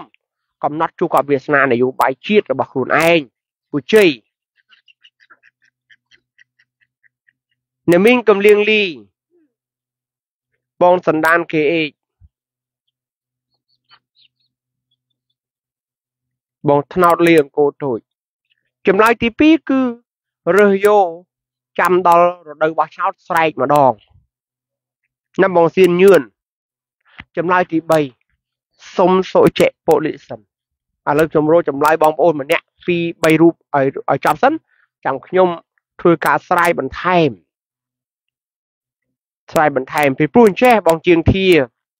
មានបងប្អូននៅអឺរ៉ុបបានសរសេរផ្ញើនៅក្នុងក្រុមណាគាត់ថាគាត់ព្យាយាមបកគោប្រកាសអន់ឲ្យពលរដ្ឋខ្មែរនឹងអឺចូលរួមយ៉ាងសរស័កសស្រាំការបោះឆ្នោតថ្ងៃ23ខែកក្កដាឆ្នាំ2023ខាងមុខហ្នឹងណាបងជាងធាហើយចឹងខ្ញុំក៏បានឆ្លើយនឹងគាត់ចម្លើយជាសំណួរសំណួរទី1 អ្នកដែលខំប្រឹងបកោប្រកាសដើម្បីចូលរួមការបោះឆ្នោតហ្នឹងថាតើការការរៀបចំការបោះឆ្នោតនៅស្រុកខ្មែរនេះគឺជាការរៀបចំការបោះឆ្នោតដោយសេរីនិងត្រឹមត្រូវដែរឬទេបើត្រឹមសេរីត្រឹមត្រូវយកអ្វីជាគោលហើយចោះបើមិនសេរីមិនត្រឹមត្រូវយកអីជាគោលពួកគាត់មិនឆ្លើយទេណារហូតដល់ស្មាននេះហើយមិនទាន់មានអ្នកឆ្លើយទេទី2ខ្ញុំក៏សួរសួរថាបើអ្នក បានដឹងថាការរៀបចំការបោះឆ្នោតនៅកម្ពុជាមិនសេរីមិនត្រឹមត្រូវឬក៏អ្នកមិនច្បាស់ទេថាវាសេរីត្រឹមត្រូវឬក៏អត់ហេតុអ្វីបានជាអ្នកនៅតែបបួលគ្នាមកធ្វើរឿងដែលខ្លួនឯងមិនចេះមិនដឹងមិនច្បាស់លាស់នោះឬក៏ដឹងហើយថាវាមិនមានការរៀបចំការបោះឆ្នោតសេរីត្រឹមត្រូវទេហើយដើម្បីអ្នកនៅតែធ្វើឬក៏អ្នកចង់ចូលរួម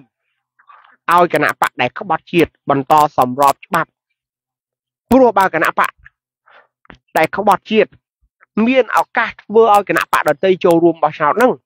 ពួកគេនឹងមានឱកាសឆក់ប្លន់លួចឆក់ប្លន់ទឹកដីខ្មែរបំផ្លាញហេដ្ឋារចនាសម្ព័ន្ធជាតិរបស់ខ្មែរឲ្យរលាយតើអ្នកកំពុងចូលរួមធ្វើរឿងហ្នឹងដែរពិតមែនដែរទេខ្ញុំសួរទេបងស្រីសំប្អូនចយវិចិត្រខ្ញុំសួរទេខ្ញុំមិនបាននិយាយថាអ្នកកំពុងតែចូលរួមដៃគ្នាដើម្បីបំផ្លាញជាតិខ្មែរ ឲ្យគណៈបកនយោបាយដែលជាអាយ៉ងបិសាចកៅអីបិសាចបកពួកបិសាចក្រុមគ្រួសារបិសាចទ្រព្យសម្បត្តិបំផ្លាញជាតិខ្មែរទេខ្ញុំមិនថាអ្នកទេខ្ញុំមិនបានថាទេសួរឲ្យអ្នកឆ្លើយទេតើអ្នកក្លាហានឆ្លើយទៅបានណាព្រោះអញ្ចឹងឯងដូចឆ្នាំមុនមុនអញ្ចឹងបបួយើងឲ្យតែប្តឹងលោកហ៊ុនសែនយ៉ាហ៊ីលោកអាយលោកកិច្ចព្រមព្រៀងប៉ារីបបួគ្នាតែប្តឹងលោកហ៊ុនសែនយ៉ាងម៉េច អត់មើលកិច្ចព្រមព្រៀងប៉ារីសទេគេសរសេរពីអីគេនិយាយពីបកគលកិច្ចព្រមព្រៀងប៉ារីសគេនិយាយពីជាតិខ្មែរទាំងមូលបច្ចុប្បន្នអនាគតគេមិនមែននិយាយបកគលទេគេអត់មែននិយាយពីបកណាទាំងអស់គេនិយាយពីជាតិមេត្តាភូមិណាបងពេជ្រសុកនេះអញ្ចឹងសំណួរទី2នោះហើយចូលសំណួរទី3រវាងអ្នកប្រើប្រាស់កាយវាចាចិត្តរបស់អ្នកឲ្យអស់លទ្ធភាពនិងសមត្ថភាពដើម្បីការពារនៅជោគអវាសនានយោបាយជាតិនិងអ្នកប្រើប្រាស់ឲ្យអស់កាយវាចាចិត្តរបស់អ្នក ឲ្យអស់លទ្ធភាពនិងសមត្ថភាពដើម្បីការពារថ្ងៃបោះឆ្នោត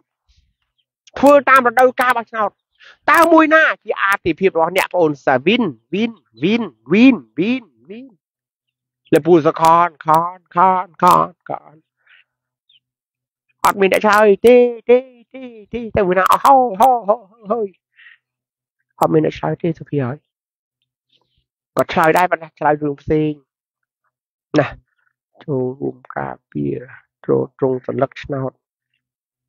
ចូលរួមការពារចូលត្រង់សន្លឹកឆ្នោតបងគុំនុំអតីតទៅចូលត្រង់សន្លឹកឆ្នោតដើម្បីខ្ញុំមិនយល់ទេការពារចូលត្រង់សន្លឹកឆ្នោតបងរនុតបងសុភីណាមើលមើលសុភីមានបងប្អូនណាឆ្លើយក្នុងសំណួរនឹងសំណួរនឹងពិបាកចម្លើយគួរឆ្លើយថាខ្ញុំត្រូវតែការពារ ជួបឲ្យវាស្នានយោបាយជាតិតាមពិតឆ្លើយវិញចឹងបានវាចេញទៅជាកន្លឹះណាហើយចម្លើយទី2ឆ្លើយថាទេខ្ញុំការពារតែថ្ងៃបោះឆ្នោតទេឲ្យតែរដូវបោះឆ្នោតតាមតាមចេញស្រែកម្ដងចេញស្រែកម្ដងចេញបកោបកាម្ដងផុតរដូវបោះឆ្នោតផុតតែខែបោះឆ្នោតតែកន្លះខែមួយខែដេមាត់ ឈប់ខ្វល់អីទាំងអស់5ឆ្នាំហ្នឹងចង់មានដឹកនាំខ្មែរមន្ត្រីមានដឹកនាំខ្មែរក្បត់ជាតិកាត់ភ្នំកាត់ទឹកដីព្រៃឈើរ៉ែបំផ្លាញហេដ្ឋារចនាសម្ព័ន្ធជាតិមាតុភូមិសម្រាប់បណ្ឌិតអ្នកប្រាចាប់បណ្ឌិតអ្នកប្រាដាក់គុកដាក់ច្បាប់បាញ់ចោលរត់ចោលស្រុកគម្រាមកំហែងអាណាធ្វើអីក៏ធ្វើទៅដល់ថ្ងៃបោះឆ្នោត2023ចាំគិតទៀតណាគិតទៀត ហើយបើប៉ាអញមិនជាប់ឆ្នោតទេអញមិនខ្វល់ប៉ាអញជាប់ឆ្នោតតាមអញខ្វល់ប៉ាអញជាប់ឆ្នោតតាមអញខ្វល់ប៉ាអញជាប់ឆ្នោតអញធ្វើម្ដងធ្វើម្ដងធ្វើម្ដងដល់ទៅបោះឆ្នោតអញមកទៀតអញជាបិសាចពពុះទឹកណាអញឡើងមកតាមទឹកឲ្យតែទឹកក្រំក្រំមានបិសាចមករអទឹកទឹកនេះទៅអត់មានបិសាចមកទៀតទេមើលទៅវាអត់មានអ្នកឆ្លើយទេបងបងមកបងនិយាយច្រើនពេកទៅវាសួរម្ដង ទូជាមួយនឹងម្ដងមើលបងប្អូនតើបងប្អូននឹងជ្រើសរើសអាទិភាពមួយណា ទី1គឺធ្វើជាពលរដ្ឋដែលកំណត់នៅជោគវាសនាអនាគតនយោបាយជាតិខ្មែរឬក៏ធ្វើជាពលរដ្ឋត្រឹមតែជាម្ចាស់នៃសញ្ញាឆ្នោត បងយេនសុកណាទៅយកផ្លូតមកហត់អីទៅនិយាយទៅសួរសួរអត់មានអ្នកឆ្លើយទេមានអ្នកឆ្លើយណាអញ្ចឹងបងយេនសុកណាថាគឺសម្រាប់ធ្វើជាម្ចាស់ឬក៏បងថា គឺខ្ញុំការពារនៅជោគវាសនាជាតិ បងសុភីគឺខ្ញុំធ្វើជាម្ចាស់នយោបាយជាតិដោយធ្វើជាពលរដ្ឋឯកតនាម ដោយធ្វើជាពលរដ្ឋនីតិរដ្ឋនិងធ្វើជាប្រជាពលរដ្ឋសកម្មលោកពូជាបកបាសយកចម្លើយទី1អត់បានបន្ទុទេ ពីព្រោះมันឆ្លើយឲ្យពេញបង repeater 2មិនអីទេបងមិនទាន់យល់សំណួរបងគិតសិនបងសុជៈពលិសិន អ្នកមីងគំលៀងលីមិនឆ្លើយសំណួរទេអញ្ចឹងខ្ញុំសូមអាននៅចម្លើយបងប្អូនណាដែលសរសេរចម្លើយបងស៊ីថាខ្ញុំចូលរួមការពារឲ្យកោជបឯករាជ្យដោយធ្វើជាពលរដ្ឋឯកតនាម ធ្វើជាពលរដ្ឋនីតិរដ្ឋនិងធ្វើជាពលរដ្ឋសកម្មរៀងរាល់ថ្ងៃសាវិន ខ្ញុំនឹងប្រើគឺនឹងហ្នឹងគឺនៅស្រៈអឺណាមិនមែនស្រៈអេទេខ្ញុំនឹងប្រើកាយវាចានិងចិត្តក្នុងការរៀនច្បាប់ជាតិនិងច្បាប់អន្តរជាតិឲ្យចេះដើម្បីការពារនិងធ្វើជាម្ចាស់នៃជោគវាសនាអនាគតនយោបាយជាតិខ្មែរបងផ្កាតកលបើយកកិច្ចព្រមព្រៀងសន្តិភាពទីក្រុងប៉ារីយកមកប្រើ ដើម្បីបោះឆ្នោតណ៎អឺធ្វើជាម្ចាស់ជោគវាសនាយកមកកណាត់ក្រោយថាបងផ្កាស្គាល់ក៏ធ្វើជាម្ចាស់នៃជោគវាសនាអនាគតនយោបាយជាតិខ្មែរដែរបងសាវេតគឺខ្ញុំនឹងចូលរួមនៅក្នុងការអឺធ្វើជាពលរដ្ឋឯកតនាម និងពលរដ្ឋនីតិរដ្ឋពលរដ្ឋសកម្ម តោះចម្លើយរបស់បងប្អូនជនរួមភាសាឃើញហើយរួមទាំងបងសុកនីក៏បានចូលរួមឆ្លើយដែលអញ្ចឹងខ្ញុំគិតថា បងប្អូនបានច្បាស់លាស់ហើយណាក្នុងជំរឿអឺដែលបងប្អូនអាទិភាពទាំងកាយទាំងវិចារទាំងចិត្តធ្វើពលរដ្ឋឯកតនាមសូមទោសធ្វើពលរដ្ឋម្ចាស់ជោគវាសនានយោបាយជាតិបងប្អូនខ្ញុំមានជាផោះតាងអំណះអំណាងខ្លះខ្លះឲ្យបងប្អូន បានចូលរួមពិចារណាទាំងអស់គ្នាណាបងស្រីសំពួកយើងសុខសប្បាយធម្មតាអ្នកមីងយូរអេងសុខសប្បាយជាទេអ្នកមីងបាត់ទៅណាក៏យូរអីក៏យូរម្លេះហើយចុះលោកពូសម្អាតយ៉ាងម៉េចហើយសុខភាពរបស់គាត់រឹងមាំខ្ញុំដឹងរឹងមាំមកដល់ស្រុកខ្មែរឃើញយីមិនធម្មតាទេណាដើរណាដើរដើរដល់ពេញស្រុកខ្មែរមកលើកនេះដើរលេងភ័យ ពីមុនវិញមកដីស្រុកខ្មែរហើយទៅលេងស្រុកយួនទៅលេងស្រុកម៉ាឡេទៅលេងស្រុកសិង្ហបុរីតែលើកនេះទាំងបងទាំងប្អូនទាំងប្តីទាំងទាំងបងបងទៅទៀតមកស្រុកខ្មែរគឺប្រឹងប្រែងណាស់ឲ្យស្គាល់ទឹកដីខ្មែរទឹកដីខ្មែរនៅកន្លែងណាខ្លះឲ្យច្បាស់ខ្លួនឯងបងប្អូនឥឡូវខ្ញុំមានជាកន្លឹះ5យ៉ាងចែកបងប្អូនហើយចាំបងប្អូនធ្វើការសម្រេចចិត្តស្រាយជាថ្មីចំនួនសួរតតែ ប៉ុន្តែខ្ញុំមានការបកស្រាយ5យ៉ាងឲ្យបងប្អូនបានដឹងបងប្អូនអើយទី1ពួកយើងធ្វើជាពលរដ្ឋកិច្ចព្រមព្រៀងប៉ារីដើម្បីការពារឯករាជ្យជាតិអព្យាក្រឹតអធិបតេយ្យបូរណភាពទឹកដីខ្មែរឲ្យខានតែបានបើយើងមិនអាចការពារទឹកដីខ្មែរបានទេយើងទៅបោះឆ្នោតបោះឆ្នោតរើសរើសនរណាហ៎បើប្រទេសយើងមានចារកិច្ចកប់ពេញសាច់ បើនៅក្រៅមន្ត្រីភូមិមានអនុភូមិនៅក្រៅមន្ត្រីឃុំមានជំទុកមានស្មៀននៅក្រោមចវាយស្រុកមានចវាយស្រុករងនៅក្រោមចវាយខេត្តមានចវាយខេត្តរងដែលជាចារកិច្ចជាគិញជា CIA ជា KGB ជាជំនាញការបរទេសបើណាបស្អើខ្ញុំមិនចោតថាមន្ត្រីខ្មែរឥឡូវទេក៏ប៉ុន្តែយើងទៀមទាយើងប្រឹងប្រែងយកកិច្ចព្រមព្រៀងប៉ារីទៅការពារបូរណភាពទឹកដី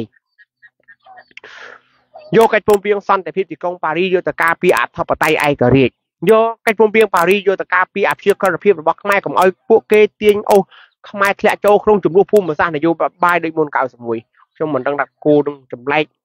ចម្លែកថ្ងៃហ្នឹងដេញ1មក2ដេញ2មក3អញ្ចឹងមកឈួរជុំវិញខ្លួនពួកយើងនឹងមកស្ដាប់ការផ្សាយដែរមកវិខានមកយូរពេកបាទមកឈួរស្ដាប់ទៅមកទេមិនអីទេឲ្យឈួរស្ដាប់ចុះ ឲ្យឈួរស្ដាប់ចុះប៉ុន្តែខ្លាចវាមកបោះយើងតែមកស្នែងបោះវាហ្នឹងឆ្អល់ហើយយើងយើងមិនសូវស្គាល់ដែរទិញមកយូរក្រែលហើយបងប្អូន3 4 6ខែដែរហើយប្រហែលជា6ខែដែរហើយមកនឹងគឺស្បែកជាប់ឆ្អឹងស្គមរ៉ាំរៃតែឃើញអាណិតឃើញអាណិតណាស់ហើយតែឃើញគូស្គមស្គមនឹងប៉ុន្តែមកយើងទិញតាមលុយយើងដែរយើងក្រយើងទិញក្រប៉ុន្តែយើងទិញរត់អាគូណាស្គមស្គម យកមកបំពន់ឲ្យវាមានសាច់មានឈាមគេតអញ្ចឹងលើកទី1យើងត្រូវការពារកិច្ចព្រមព្រៀងប៉ារីជំរុញឲ្យកិច្ចព្រមព្រៀងប៉ារីអនុវត្តសិនដើម្បីបញ្ចប់សង្សង្គមមួយដែលវាជាប់ពាក់ព័ន្ធនឹងរបបអតីតកាលនិងព្រឹត្តិការណ៍អតីតកាលបើយើងមិនអាចកាត់ផ្ដាច់របបអតីតកាលទេយើងបោះឆ្នោតរហូតដល់លាយខ្លួនឯងនឹងងាប់ពីតំណទៀតក៏ខ្មែរគ្មានមេដឹកនាំខ្មែរដែរក៏ខ្មែរមានមេដឹកនាំដែលបិសាចមេដឹកនាំដែលបិសាចគឺជាប់បោះឆ្នោតឲ្យបាក់ណាក៏បិសាចដែរ បងប្អូន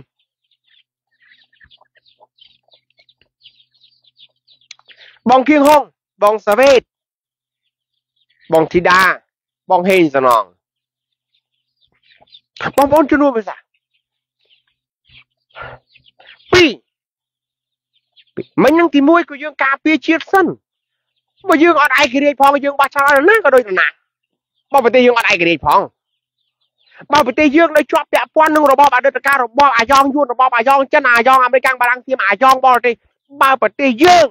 នៅក្រោមកន្ទុយក្បិនកន្ទប់របស់បរទេសតើយើងបោះឆ្នោតរឿងណារឿងណារឿងណាមកក៏ទៅជាបិសាចដែររឿងណាមកក៏ទៅជាបិសាចក៏អីបិសាចបាក់ពួកតែជែកគ្នាឈ្លោះគ្នាតែរឿងស្រីញីប្រុសឈ្មោលបងប្អូនត្រកូលពូជពងគណៈបកនយោបាយពួកគេគេមិនដែលទៅជែកអំពីខ្មែរទេគេមិនទៅជែករឿងទឹកដីទេ គេឆ្លោះគ្នាប្រមាណម៉ឺនដងក៏នៅតែនិយាយតែរឿងប្តីប្រពន្ធគ្រួសារបកពួកតែបងរឿងរំលាយបាក់រឿងបង្កើតបាក់រឿងដល់ប៉ុណ្ណឹងអារឿងខ្មែររឿងទឹកដីខ្មែររឿងកោះសមុទ្រខ្មែររឿងភ្នំខ្មែររឿងទន្លេសមុទ្របឹងបួខ្មែររឿងភូកអត្រាជាតិខ្មែរអត់ឆ្លោះគ្នាក្នុងសភាទេអត់ឆ្លោះគ្នានៅក្នុងការជជែកតាមវិទ្យុទូរទស្សន៍ឯកជនផ្ទាល់ខ្លួនរបស់ពួកគេទេ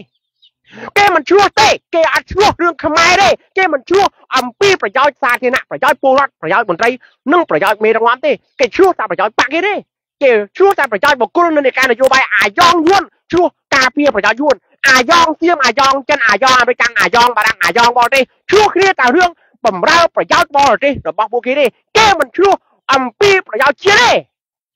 អត់ទេតែខាតមិនឆ្លោះរឿងជាតិ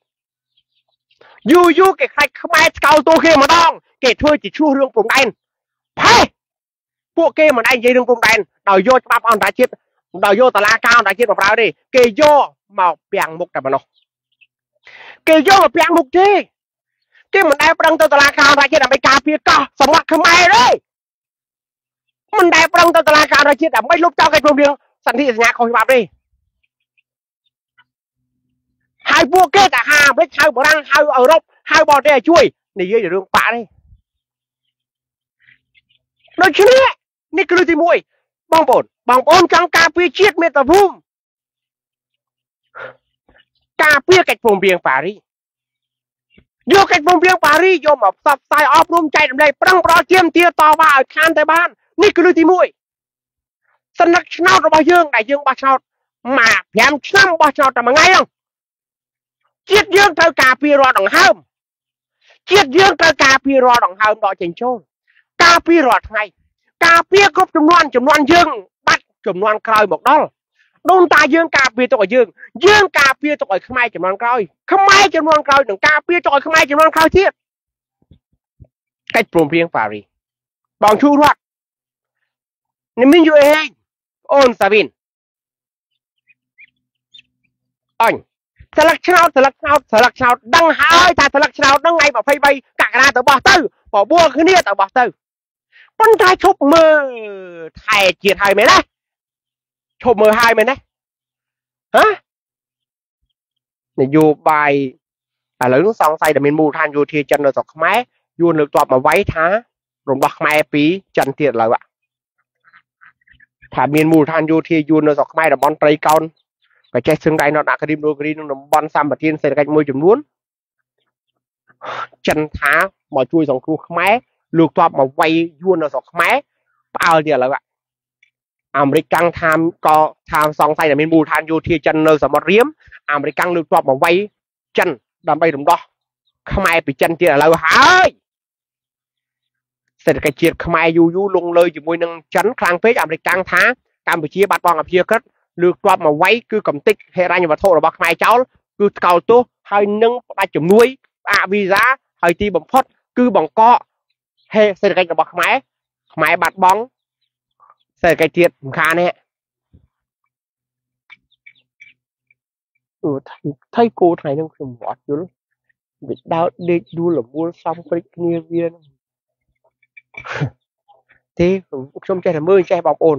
ព្រោះយើងចេះតែប្រហែសមិនបាន បើយើងមិនដែលស្គាល់ពួកវាផងវាចេះដើរមកគៀកគៀកមកអង្គុយស្ដាប់មកឈរស្ដាប់ដេកស្ដាប់ហើយចាប់ប៉ះវាដាក់រឿងមកខឹសមកអូមកស្នៃនឹងឆ្អល់នៅហ្នឹងណា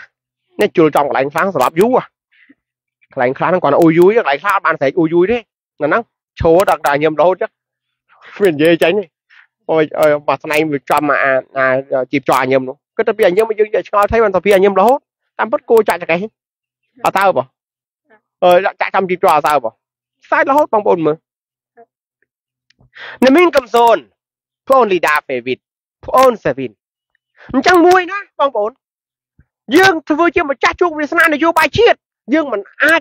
ធ្វើជាម្ចាស់ស្លឹកឆ្នោតមួយស្លឹកនៅថ្ងៃ23កក្កដារបស់ឆ្នោតហើយចាប់ទេបោះទៅហៅគ្នាទៅបោះទៅ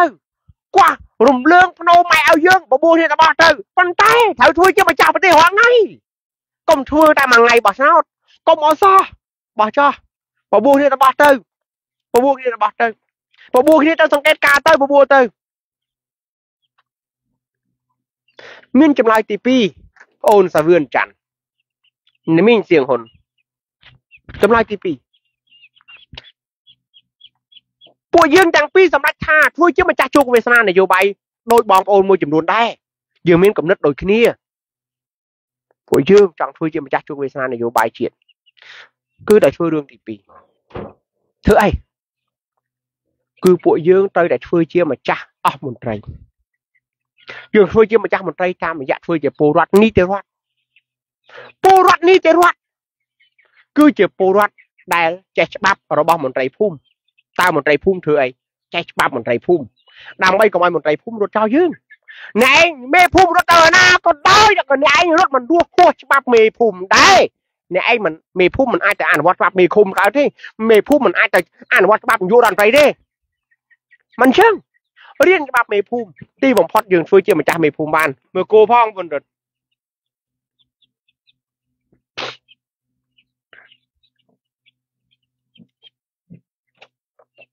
វាស្រេកទឹកវាហ្នឹងរៀនច្បាប់មន្ត្រីឃុំសង្កាត់រៀនច្បាប់មន្ត្រីឃុំសង្កាត់មន្ត្រីប៉ុស្តិ៍ រៀនច្បាប់មន្ត្រីភូមិឃុំសង្កាត់មន្ត្រីប៉ុស្តិ៍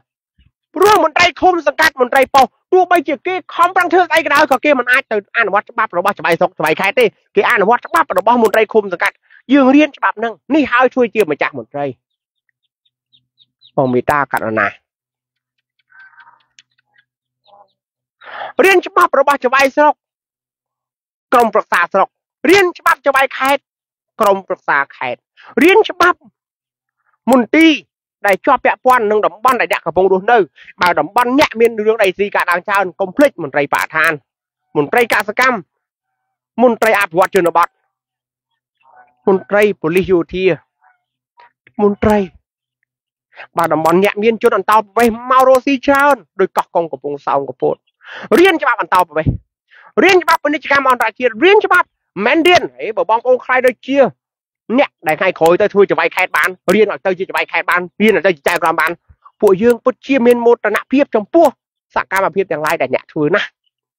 ព្រោះអត់ឯងខំប្រឹងនិយាយរឿងច្បាប់សង្ឃឹមថាលើកទឹកចិត្តឲ្យពូជខ្មែរខំប្រឹងរៀនច្បាប់ហើយបើមិនបានដឹកនាំប្រទេសធ្វើជាមន្ត្រីមានដឹកនាំប្រទេសក៏ធ្វើជាពលរដ្ឋមួយដែលអ្នកឯងជាមន្ត្រីមិនអាចលេបខ្មែរមិនអាចលក់ខ្មែរមិនអាចលក់ប្រទេសទេប្រទេសកម្ពុជាមិនមែនសម្រាប់លក់ទេវ៉ាយជារបស់ខ្មែរ មិនជារបស់អ្នកឯងផ្ដាច់មុខទេដូច្នេះយើងធ្វើជាម្ចាស់មន្ត្រីទើបគេលក់ប្រទេសអត់កើតទើបគេលក់ជាតិយើងអត់កើតគេលក់ទឹកដីយើងអត់កើតគេណាក៏ដោយគេជាអាយ៉ងគេជាបិសាចឬក៏ជាបរទេសដែលបន្លំខ្លួនក៏ដោយពលរដ្ឋនីតិរដ្ឋគឺធ្វើជាម្ចាស់នៃអំណាចនីតិប្រតិបត្តិពីមន្ត្រីភូមិ រហូតដល់នាយករដ្ឋមន្ត្រីគឺចេះច្បាប់របស់ពួកគាត់យ៉ាងហោចណាស់ចេះក្រមសីលធម៌វិជ្ជាជីវៈនិងច្បាប់ដែលពួកគាត់កំពុងអនុវត្តអូយើងយ៉ាងច្រើនពេកហើយសូនអើយយើងជាពលរដ្ឋអូតាំងកជ្រក់ឆ្នាំងមិនតបានផងឲ្យទៅអង្គុយរៀនច្បាប់របស់មន្ត្រីអញ្ចឹងងាប់ហើយងាប់ហើយបើធ្វើយ៉ាងហ្នឹងបងពូស៊ីនណាតអូនសាវីនអើយងាប់ហើយបើយ៉ាងហ្នឹងចម្លើយឆ្លើយថាបើខ្លាចងាប់ដោយសាររៀនច្បាប់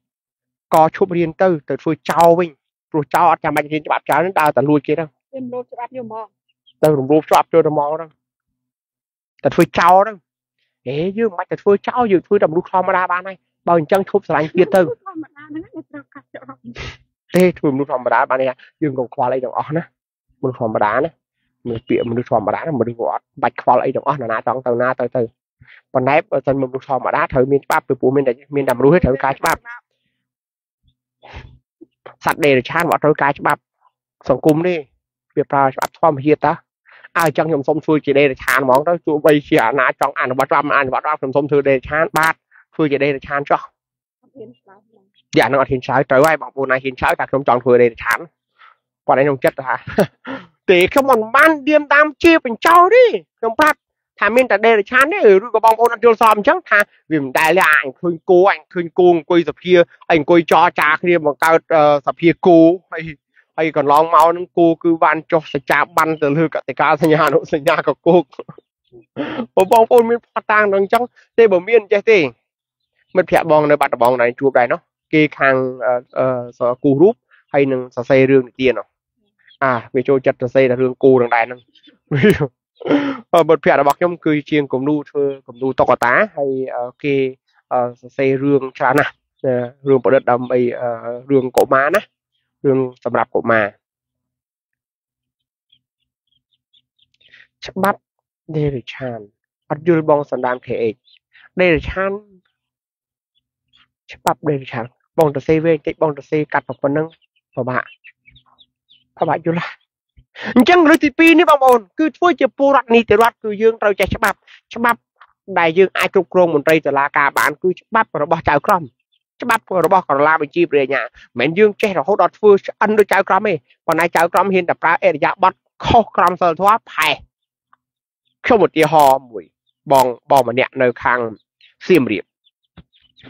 ចៅក្រមចង្អុលមុខគាត់ចង្អុលមុខគាត់ ចង្អុលមុខគាត់ស្ដីបន្ទោសគាត់ថាឲ្យគាត់ដល់ពេលហើយបងម្នាក់ទៀតដែលជាប្អូនប្រុសរបស់បងស្រី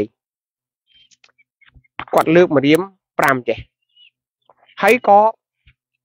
ពួកយើងចង្អុលគេយើងអត់ចង្អុលដៃទេយើងចង្អុលគេដោយម្រាមដៃ5ចេះ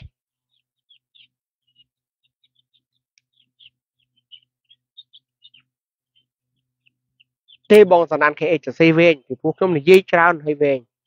បើបងសរសេរកាត់ខ្លីប៉ុណ្្នឹងទៅជាបាច់ច្បាប់ព្រៃរឆានវាមិនដឹងថាបងចង់សរសេរពីអីព្រោះការសរសេរមិនដូចការនិយាយទេការនិយាយវាមានតពីលើចុះមកក្រោមហើយចុះមកក្រោមទៀតតែពេលការសរសេរមកកណាត់ប៉ុណ្្នឹងមិនដឹងតពីណាមកមិនដឹងតស្អីទៀតបងប្រុសគាត់គាត់ចង្អុលទៅចៅក្រមដោយប្រើរៀនដៃ5សួរថាលោកតើលោកចៅលោកចៅក្រមឯងគាត់ប្រើពីឯងលោកចៅក្រមឯងចង្អុល បងស្រីខ្ញុំចង្អុលបងស្រីខ្ញុំអញ្ចឹងតើលោកចៅក្រមឯងមានក្រមសិលធម៌អត់នេះខ្ញុំមានចង្អុលណាខ្ញុំមានចង្អុលណាច្រត់ចង្កេះហើយយកដៃចង្អុលគេខ្ញុំមានចង្អុលណាខ្ញុំមានចង្អុលណាបងប្អូនដឹងពាក្យនឹងខ្លាំងប៉ុណ្ណាទេបងពោសូណែតសូណាតបងសម្បត្តិសំណាងពាក្យប៉ុណ្ណឹងជាពលរដ្ឋខ្មែរម្នាក់ដែលចៅក្រមចង្អុលមុខហើយយើងចេះសួរគាត់ ថាលោកជាចៅក្រមតើអ្នកមានក្រមសិលធម៌អត់ដែលប្រចង្អុលមុខពលរដ្ឋចឹងអានេះណាវាវាតាហើយជាងគ្រាប់ខ្លងគ្រាប់បែកដែលមកទម្លាក់ចំអាគារចៅក្រមអាគារតឡាកាងទៅទៀតវាជាគ្រាប់មីស៊ីលប៉ារ៉ាម៉ាណូឆេះនឹងត្បងបងប្អូន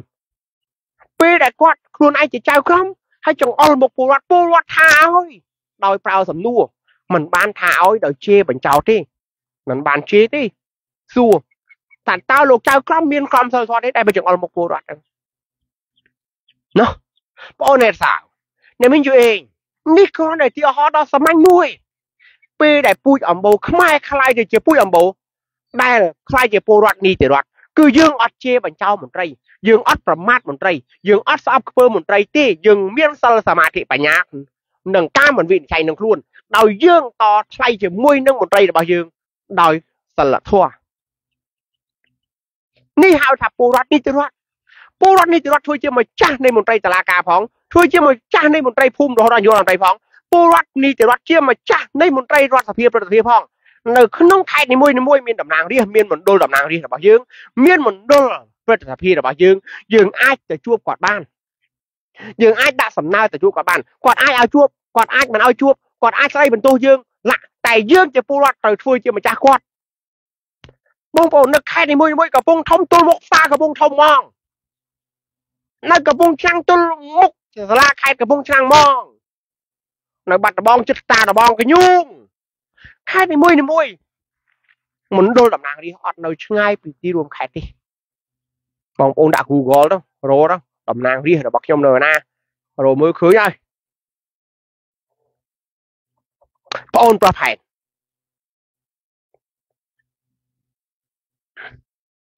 ទេចង់ទៅរោធ្វើជាអ្នកសង្កេតការអីទៅទៅពួកខ្ញុំមិនដែរនិយាយថាមិនឲ្យធ្វើផងគាត់នៅថ្ងៃនឹងយកប្រធានបទមកប្រៀបធៀបទៅហើយហ្នឹងមិនស្រួលតាំងពីដើមម៉ោងមកមិនស្រួលថាយើងនឹងគឺជាពួកប្រឆាំងអីណាប្រឆាំងនឹងគោជោបមិនស្រួលណាដល់ទៅពេលយើងសួរទៅនិយាយថាយើងប្រឆាំងសួរសោះតែថាថាទៅអត់ម៉េចអេកាត់តវីដេអូខ្ញុំមកកណាត់អាលឺតិចទៅមកប៉ុណ្ណឹងហ្នឹងអូផ្អើលដល់យល់អន្តរផ្អើលដល់រត់រត់អន្តរជាឥឡូវហ្នឹងកុំអារម្មណ៍ ខ្ញុំទទួលខុសទៅចំពោះអណ្ដាតខ្ញុំនិយាយ2060ថ្ងៃនៅយើង2000 90ថ្ងៃហើយទីទៅខុសទៅមិនខុស2050ដល់60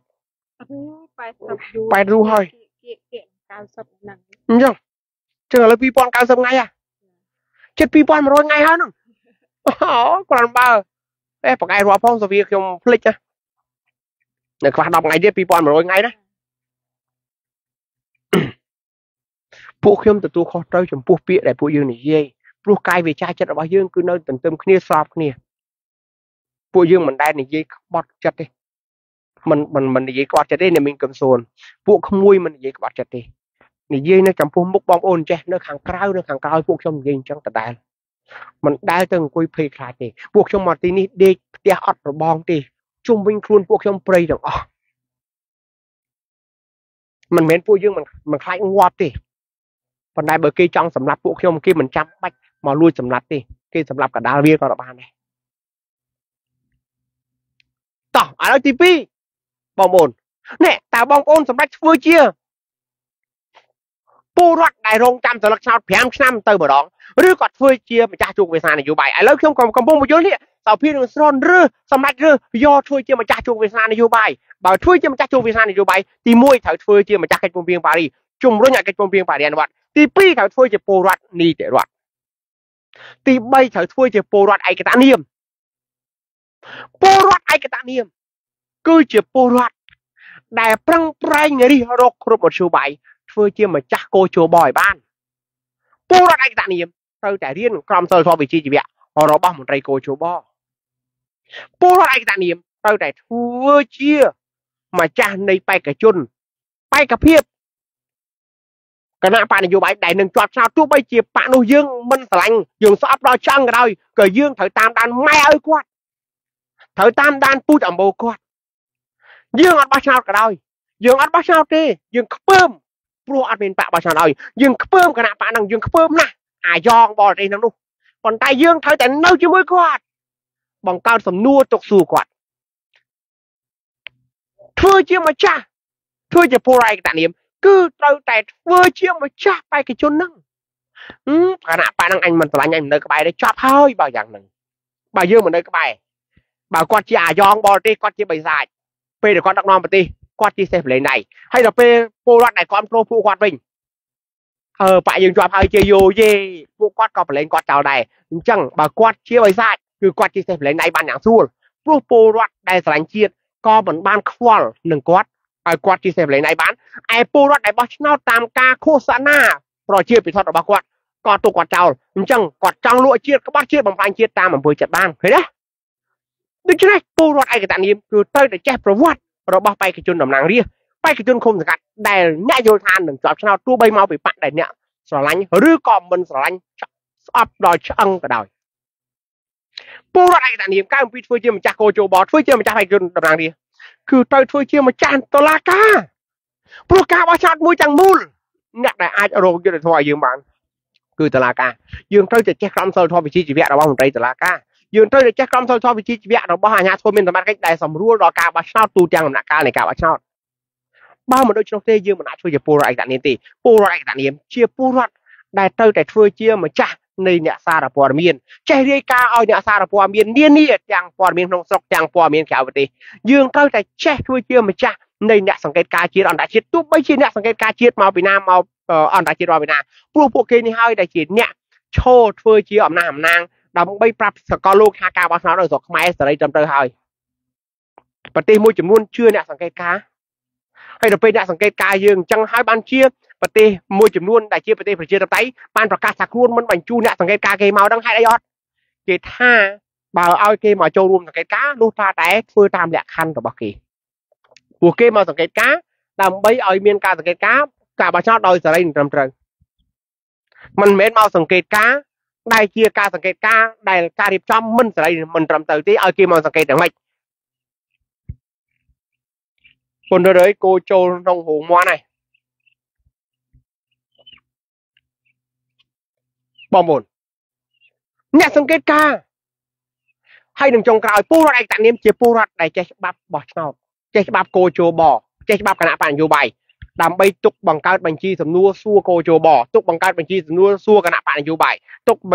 បង្កើតបញ្ជីសំណួរសួរមន្ត្រីអាជ្ញាធររៀបចំការបោះឆ្នោតទាំងមន្ត្រីឃុំសង្កាត់មន្ត្រីខេត្តនិងយោធានិងតុលាការ ចេះច្បាប់បោះឆ្នោតដើម្បីទុកសួរអ្នកសារព័ត៌មានអ្នកសង្កេតការជាតិអន្តរជាតិនេះហើយពលរដ្ឋឯកតនាមចឹងបីហ្នឹងណាតាម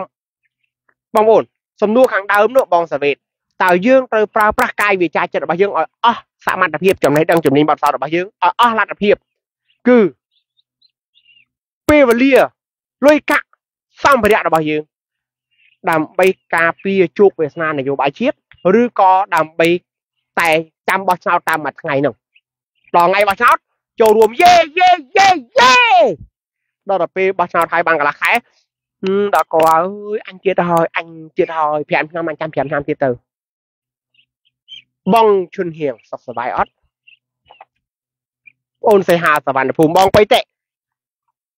បងបៃតេសុខសប្បាយទេចុះអ្នកម្ដាយសុខសប្បាយទេតែមីងយូអេងសុខសប្បាយទេកលុះទី4 ដើម្បីជួយជាម្ចាស់ជួបវាសនានយោបាយទី1ជួយជាម្ចាស់កិច្ចព្រមព្រៀងប៉ារីសរុញឲ្យកិច្ចព្រមព្រៀងប៉ារីសអនុវត្តទី2ធ្វើជាពលរដ្ឋនីតិរដ្ឋដើម្បីធ្វើជាម្ចាស់នៃមន្ត្រីទាំងអស់ទី3គឺធ្វើជាពលរដ្ឋឯកតភាពដើម្បីធ្វើជាម្ចាស់នៃសัญลักษณ์ឆ្នោតរបស់យើងទី4គឺធ្វើជាប្រជាពលរដ្ឋដែលធ្វើជាម្ចាស់នៃភោគទ្រព្យធម្មជាតិភោគទ្រព្យសេដ្ឋកិច្ចនិងភោគទ្រព្យវប្បធម៌បងប្អូន តែយើងក្រហើយគេគៀបយើងស៊ីឲ្យយើងរត់ចោលប្រទេសអស់ទៅនៅស្រុកគេកម្លាំងដែលអាចចូលរួមបោះឆ្នោតបានដែលអាចការពារកសាងប្រទេសបានគឺរត់ចេញពីប្រទេសខ្មែរទៅនៅប្រទេសគេអស់អ្នកខ្លះរត់ចេញពីស្រុកកំណើតទៅនៅស្រុកខេត្តដទៃអត់បានចុះឈ្មោះបោះឆ្នោតឬក៏អត់បានធ្វើជាម្ចាស់ស្រុកឆ្នោតឬក៏អត់អាចប្រើមន្ត្រីបានទេព្រោះតែយើងចេញមកពីភូមិកំណើតណាយើងមន្ត្រីភូមិមន្ត្រីឃុំយើងអត់ហ៊ានប្រើទេបើនៅស្រុកយើងនៅភូមិយើងយើងអាចយើងស្គាល់មេភូមិយើងយើងស្គាល់មេឃុំយើងយើងអាចនិយាយគាត់បានតែបើទៅនៅស្រុកគេ ជាទូទៅគឺខ្លាចនិយាយខ្លាចនិយាយជាមួយមេភូមិមេឃុំហ្មងបើយើងយើងអ្នកប្រៃវែងទៅនៅបាត់ដំបងហើយទៅនៅភូមិហ្នឹងទៅលឺសូមពីភូមិពីឃុំគេមកសួរជួនកាលភ័យទៀតឃើញទេអញ្ចឹងកត្តាសេដ្ឋកិច្ចគឺជាកត្តាសំខាន់ណាស់បើចង់ធ្វើជាម្ចាស់ជួបវាសនានយោបាយជាតិយើងត្រូវតែធ្វើជាម្ចាស់នៃសេដ្ឋកិច្ចជាតិទី5ចុងក្រោយគឺធ្វើជាពលរដ្ឋសកម្មប៉ុន្តែសូមឲ្យសុភាជួយបញ្ជាក់ណាឥឡូវខ្ញុំសូមបញ្ជាក់5កលឹះនេះ ពួកយើងធ្វើជាម្ចាស់ជួបវាសនានយោបាយជាតិធ្វើរឿង5យ៉ាង1ធ្វើជាពលរដ្ឋកិច្ចពំរាមប៉ារីដើម្បីបង្កើតធានាការពារឯករាជ្យជាតិអភិជាក្រិតភាពរបស់ខ្មែរទី2ធ្វើជាម្ចាស់ជួបឲ្យវាសនានយោបាយជាតិដោយធ្វើជាពលរដ្ឋនីតិរដ្ឋទី3ធ្វើជាម្ចាស់ជួបវាសនានយោបាយជាតិបានលុះត្រាតែធ្វើជាពលរដ្ឋឯកតនាមទី4ធ្វើជាម្ចាស់ជួបវាសនានយោបាយជាតិបានលុះត្រាតែធ្វើជាម្ចាស់សេដ្ឋកិច្ចដែលសភានឹងបញ្យល អំពីថាតើពលរដ្ឋអាចធ្វើជាម្ចាស់សេដ្ឋកិច្ចដោយរបៀបណាទី5គឺធ្វើជាពលរដ្ឋសកម្មសភានឹងសូននឹងធ្វើការផ្លាស់គ្នាក្នុងការទៅជែកគ្នាចំណុចទី5ដែរប៉ុន្តែ5យ៉ាងនេះទុកឲ្យបងប្អូនណាធ្វើវីដេអូខ្លីបាន5យ៉ាងគ្រាន់ឲ្យបងប្អូនដទៃដែលមិនមានពេលវេលាស្ដាប់ទាំងស្រុងយក5យ៉ាងនេះទៅពិចារណាសូភាតើធ្វើជាម្ចាស់សេដ្ឋកិច្ចជាតិពលរដ្ឋអាចធ្វើកើតដែរហើយសេដ្ឋកិច្ចរបស់នយោបាយអន្តរជាតិថាបាទសេដ្ឋកិច្ចជាតិ របស់ពលរដ្ឋព្រោះនយោបាយអន្តរជាតិក៏ជារបស់ពលរដ្ឋស្ដេចក៏ជារបស់ពលរដ្ឋមន្ត្រីគ្រប់លំដាប់ថ្នាក់គ្រប់វិស័យទាំងអស់ជារបស់ពលរដ្ឋឲ្យច្បាស់ទៅមើលរដ្ឋធម្មនុញ្ញឲ្យច្បាស់ទៅមើលរដ្ឋធម្មនុញ្ញឲ្យច្បាស់ទៅមើលរដ្ឋធម្មនុញ្ញឡៃបបកថាទៅឲ្យច្បាស់ទៅមើលរដ្ឋធម្មនុញ្ញទៅមើលចម្ពោះទី10និយាយអំពីរាជរដ្ឋាភិបាលទៅឲ្យច្បាស់ទៅមើលចម្ពោះទី11និយាយអំពីតឡាការទៅឲ្យច្បាស់ទៅមើលចម្ពោះទី7ទី8អំពីរដ្ឋរដ្ឋាភិបាលរដ្ឋាភិបាលទៅ គឺអំណាចកម្ពុជាទាំង3ជារបស់ប្រជាពលរដ្ឋឲ្យច្បាស់ទៅមើលចម្ពោះទី4និយាយអំពីរដ្ឋនយោបាយទៅពលរដ្ឋជាម្ចាស់នៃអំណាចទាំងអស់ឲ្យច្បាស់ទៅមើលចម្ពោះទី2អំពីព្រះមហាក្សត្រទៅពលរដ្ឋគឺជាម្ចាស់របស់ព្រះមហាក្សត្រ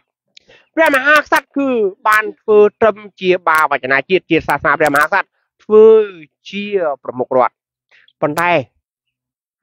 ទៅអានចម្ពោះព្រះមហាក្សត្រប្រទេសកម្ពុជាអឺទៅមើលចំពុកទី1និយាយអំពីអធិបតេយ្យភាពប្រទេសកម្ពុជាគឺជាប្រទេស ដែលមានព្រះមហាក្សត្រគ្រងរាជតែព្រះអង្គអាស្រ័យរដ្ឋធម្មនុញ្ញអាស្រ័យរដ្ឋធម្មនុញ្ញរដ្ឋធម្មនុញ្ញពលរដ្ឋខ្មែរជាអ្នកបងកើតអាស្រ័យបកបកថាពឹងពាក់អាស្រ័យដែលលើសូពាក្យពឹងអាស្រ័យទេ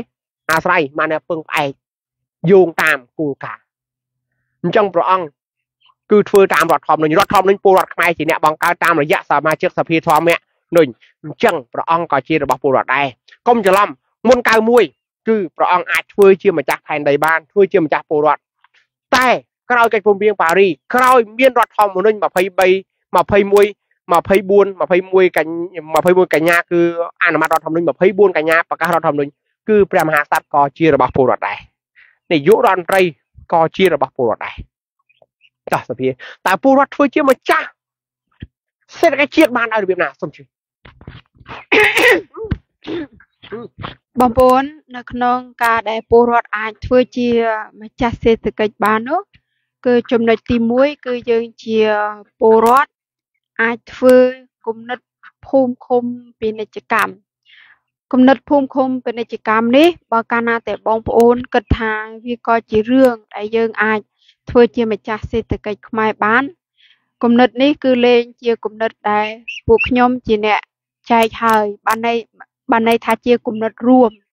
ជាគំនិតដែលយើងខំយកទៅអនុវត្តដើម្បីជាការបំរើឲ្យសេដ្ឋកិច្ចជាតិ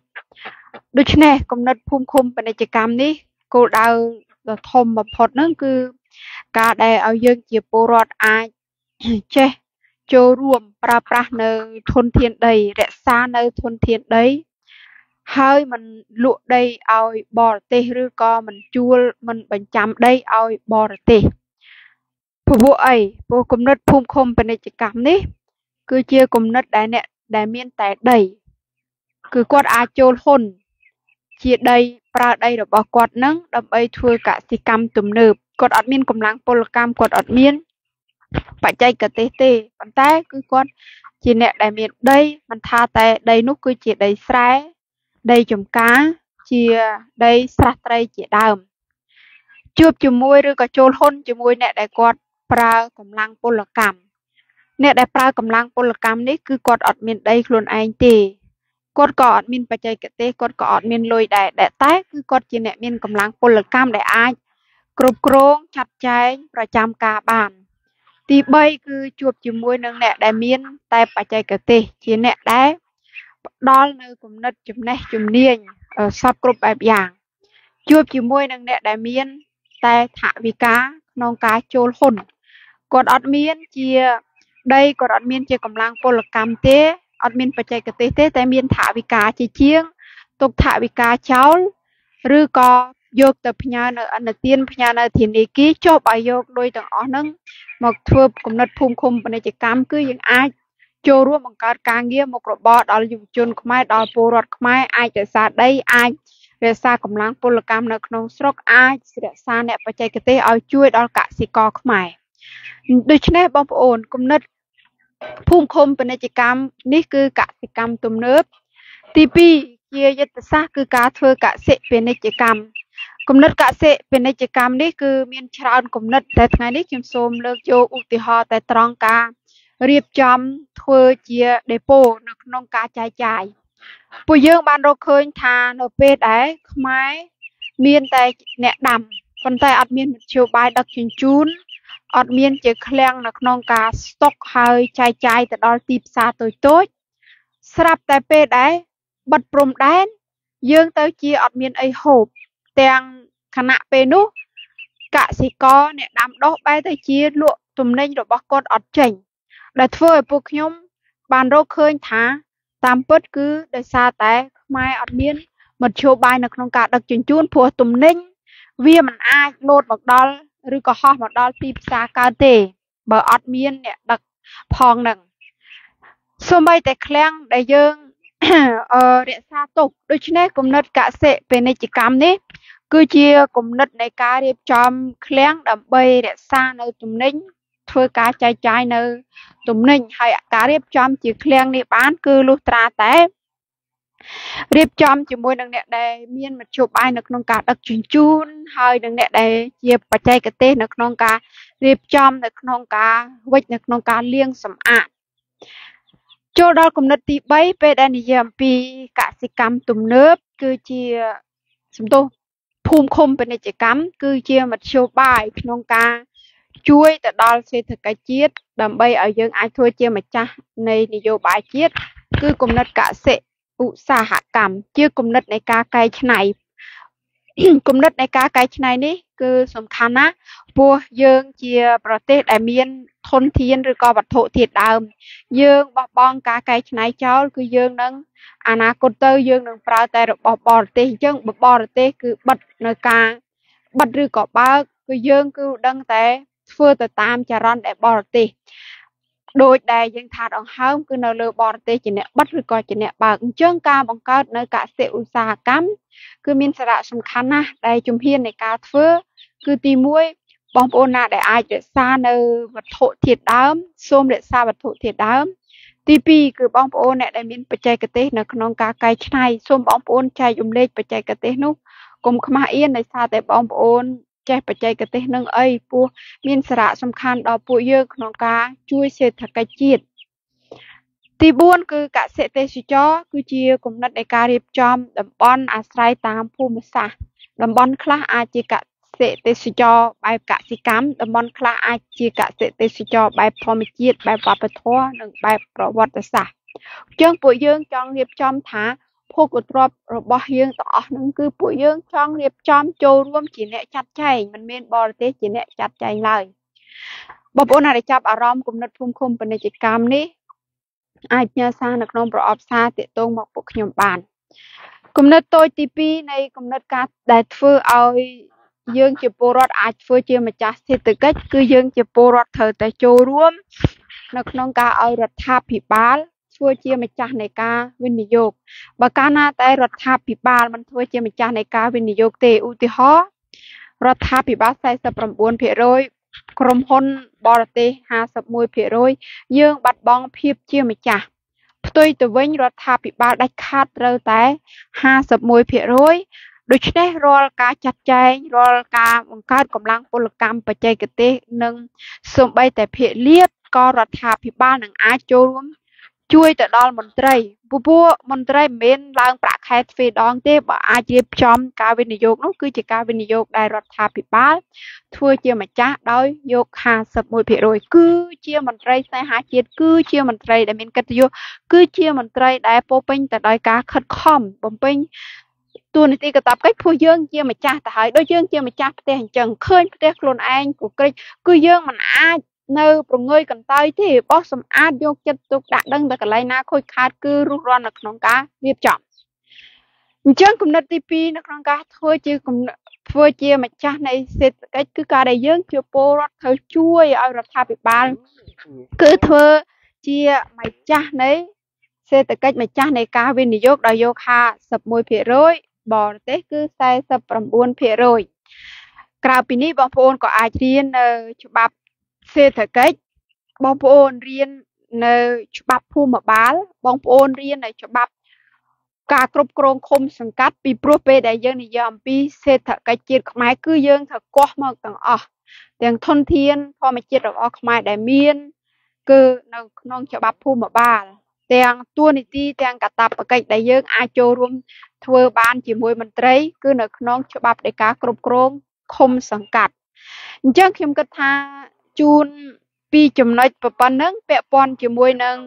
ការដែលខ្មែរអាចធ្វើជាម្ចាស់នៃសេដ្ឋកិច្ចដើម្បីឲ្យយើងចូលរួមធ្វើជាពលរដ្ឋដែលកំណត់ជោគវាសនាអនាគតនយោបាយជាតិមិនមែនធ្វើជាពលរដ្ឋតែជាអ្នកបោះឆ្នោតឬក៏ត្រឹមតែជាម្ចាស់នៃសញ្ញាឆ្នោតទេបងប្អូនចំណុចមួយទៀតដែលខ្ញុំសូមនាំបងប្អូនទៅជជែកនោះថាធ្វើពលរដ្ឋ ជាម្ចាស់នៃជោគវាសនា ហើយជាជាងធ្វើជាពលរដ្ឋដែលត្រឹមតែជាអ្នកបោះឆ្នោតនឹងយ៉ាងម៉េចគឺការធ្វើពលរដ្ឋសកម្មការធ្វើជាពលរដ្ឋសកម្មនេះ គឺមានចំណុចមួយចំនួន ដែលបងប្អូនអាចធ្វើទៅបានព្រោះសកម្មមិនមែនយើងចេះតែប្រើពាក្យទេសកម្មនៅទីនេះបានន័យថាសកកម្មនៅក្នុងការធ្វើជាពលរដ្ឋឯកតនាម ហើយពលរដ្ឋឯកតនាមគឺបានពន្យល់នៅដើមមករួចហើយ សកម្មនៅទីនេះគឺសកម្មនៅក្នុងការធ្វើជាពលរដ្ឋនីតិរដ្ឋដែលបានបញ្ជាក់ហើយនិងសកម្មទី3គឺធ្វើជាពលរដ្ឋសកម្មដោយចេះអនុវត្តសិលសមាធិបញ្ញាការមិនវិនិច្ឆ័យការដែលយើងចង់ធ្វើជាម្ចាស់នៃជោគវាសនាអនាគតនយោបាយជាតិនេះបើយើងអត់ចេះគ្រប់គ្រងអារម្មណ៍អត់ចេះប្រើប្រាស់បញ្ញាទេ មានបាក់មួយថាធំមានបាក់មួយថាបង្កើតថ្មីមានបាក់មួយថាល្អយើងឈូឆរ តាមបាក់ទៀតហើយយើងអត់បានធ្វើជាពលរដ្ឋដែលជាធាតអចិន្ត្រៃយ៍របស់ជាតិទេ យើងនៅតែធ្វើជាពលរដ្ឋរត់ឈូឆររត់ទៅតាមព្រឹត្តិការណ៍ការប្រើប្រាស់បញ្ញានេះនឹងជួយឲ្យបងប្អូន អាចធ្វើនៅចំណុចទី1ចំណុចទី2ចំណុចទី3និងចំណុចទី4បានយ៉ាងកប់ប្រសើរអញ្ចឹងពលរដ្ឋប្រើប្រាស់បញ្ញាគឺចេះគ្រប់គ្រងរាល់កំហឹងដែលបងប្អូនមានហើយការដែល បងប្អូនអាចគ្រប់គ្រងបានមានតែបងប្អូនទេដែលដឹងថារឿងណាដែលបងប្អូនកក់ក្ដៅរឿងណាដែលបងប្អូនមិនចូលចិត្តដោយការស្ដាប់ឮដោយការមើលឃើញគឺបងប្អូនត្រូវចេះចាប់ផ្ដើមរំលឹកខ្លួនឯងការប្រើសមាធិបើន័យថាយើងចេះបដោតការបដោតមានសារៈសំខាន់ណាស់ព្រោះវានឹងសម្រេចគោលដៅទិសដៅរបស់យើងមិនខ្វះទេឧបសគ្គដែលវានឹងកើតឡើងមិនខ្វះទេ គេអាច សើចចំអកតាធ្វើអីពលរដ្ឋឯកតនាមធ្វើអីធ្វើពលរដ្ឋសកម្មនោះក៏ដូចជាយើងធ្វើជាពលរដ្ឋមានសិលធម៌ពោះការដែលមានសិលធម៌នេះពោះបិសាចគឺมันអាចសម្លុតគម្រាមកំហែងរបស់យើងគម្រាមកំហែងមកលើយើងបានពោះពីរនេះគឺជារបស់មួយដែលអសិលបិសាចគឺมันអាចរំលងបាននៅភាពមានសិលធម៌ទេតែសាកយើងអសិលធម៌ទៅវិញបិសាចនឹងរីកមាឌបិសាចនឹងមានអធិពល ទ្វេដងពលរដ្ឋសកម្មធ្វើអីទៀតពលរដ្ឋសកម្មគឺត្រូវខំរៀនច្បាប់នៃការបោះឆ្នោតបើយើងចង់ឲ្យយើងជាពលរដ្ឋកំណត់ចូលកវាសនាអនាគតនយោបាយយើងត្រូវចេះពីច្បាប់បោះឆ្នោតយើងត្រូវចេះពីច្បាប់គណៈបកនយោបាយយើងធ្វើពលរដ្ឋសកម្មចេះច្បាប់រដ្ឋធម្មនុញ្ញចេះច្បាប់កិច្ចព្រមព្រៀងហើយពេលដែលបងប្អូនខំរៀនច្បាប់ទាំងអស់ហ្នឹងអំណាចចាប់ផ្ដើមកើតមាននៅចំពោះបងប្អូន តែបងប្អូនធ្វើរឿងមួយទៀតគឺការខំបង្កើតជាសំណួរព្រោះការដែលបង្កើតជាសំណួរនេះសំណួរគឺអត់ចេះហួសសុពលភាពទេជួបគណៈបកនយោបាយក៏យើងសួរបានជួបអ្នកកសែតក៏យើងសួរបានសួរបានជួបអង្គការសង្គមស៊ីវិលជួបមេដឹកនាំនយោបាយក៏យើងអាចសួរទៅបានអញ្ចឹងនេះគឺជាពីរចំណុចដែលខ្ញុំសូមចូលរួមជាចំណែកថាបើបងប្អូនជ្រើសរើសធ្វើជាពលរដ្ឋកំណត់ចូលកវាសនាអនាគតនយោបាយជាតិ គឺធ្វើជាពលរដ្ឋដែលជាម្ចាស់នៃសេដ្ឋកិច្ចហើយនឹងទី5គឺធ្វើជាប្រជាពលរដ្ឋសកម្មបងប្អូនថ្ងៃនេះសង្ឃឹមថាតាំងពីដើមម៉ោងរហូតដល់ឥឡូវបងប្អូនអាចបានកន្លឹះហើយកន្លឹះត្រង់ថាពេលដែលយើងនិយាយអំពី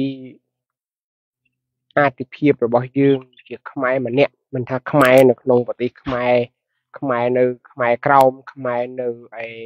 ជាជនអតីតជនភៀសខ្លួន ជាពលករចំណាក់ស្រុកថ្ងៃនេះ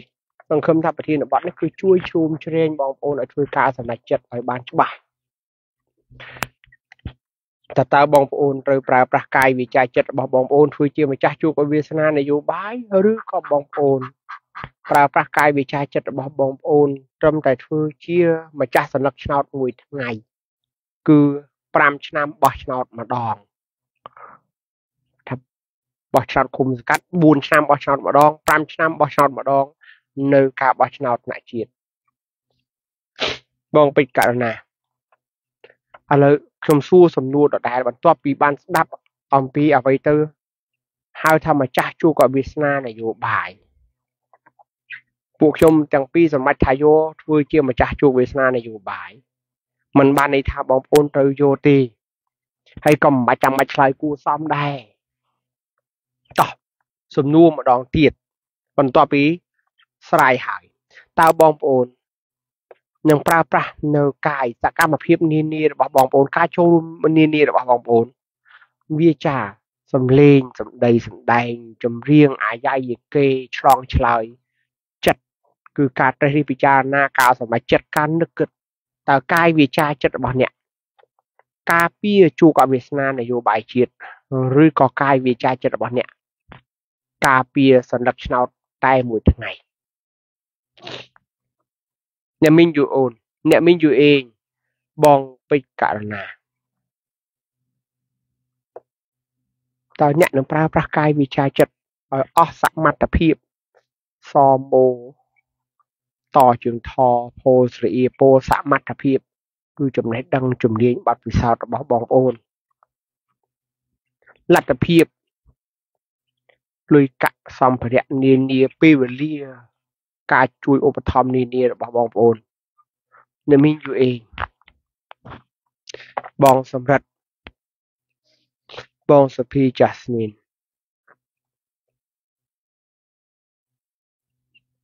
ពូទុំស៊ូ បងសុភីរតនគិរីបងប្រុសផែនជំរាបសួរតើអ្នករើសផ្លូវមួយណាធ្វើជាម្ចាស់ជោគវាសនានយោបាយឬក៏ធ្វើជាម្ចាស់សន្លឹកឆ្នោតតែមួយថ្ងៃមើលមើលកែលូមើលនេះបតដើរនៅខាងនោះដើរ បងប្អូនរើសយកមួយណា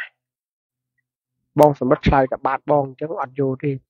ចម្លើយនឹងខ្ញុំខ្ញុំអត់យកទេសំណួរមានជួយឆ្លើយសំណួរតែបើកំពុងធ្វើការងារកុំបារម្ភបងគៀងហុង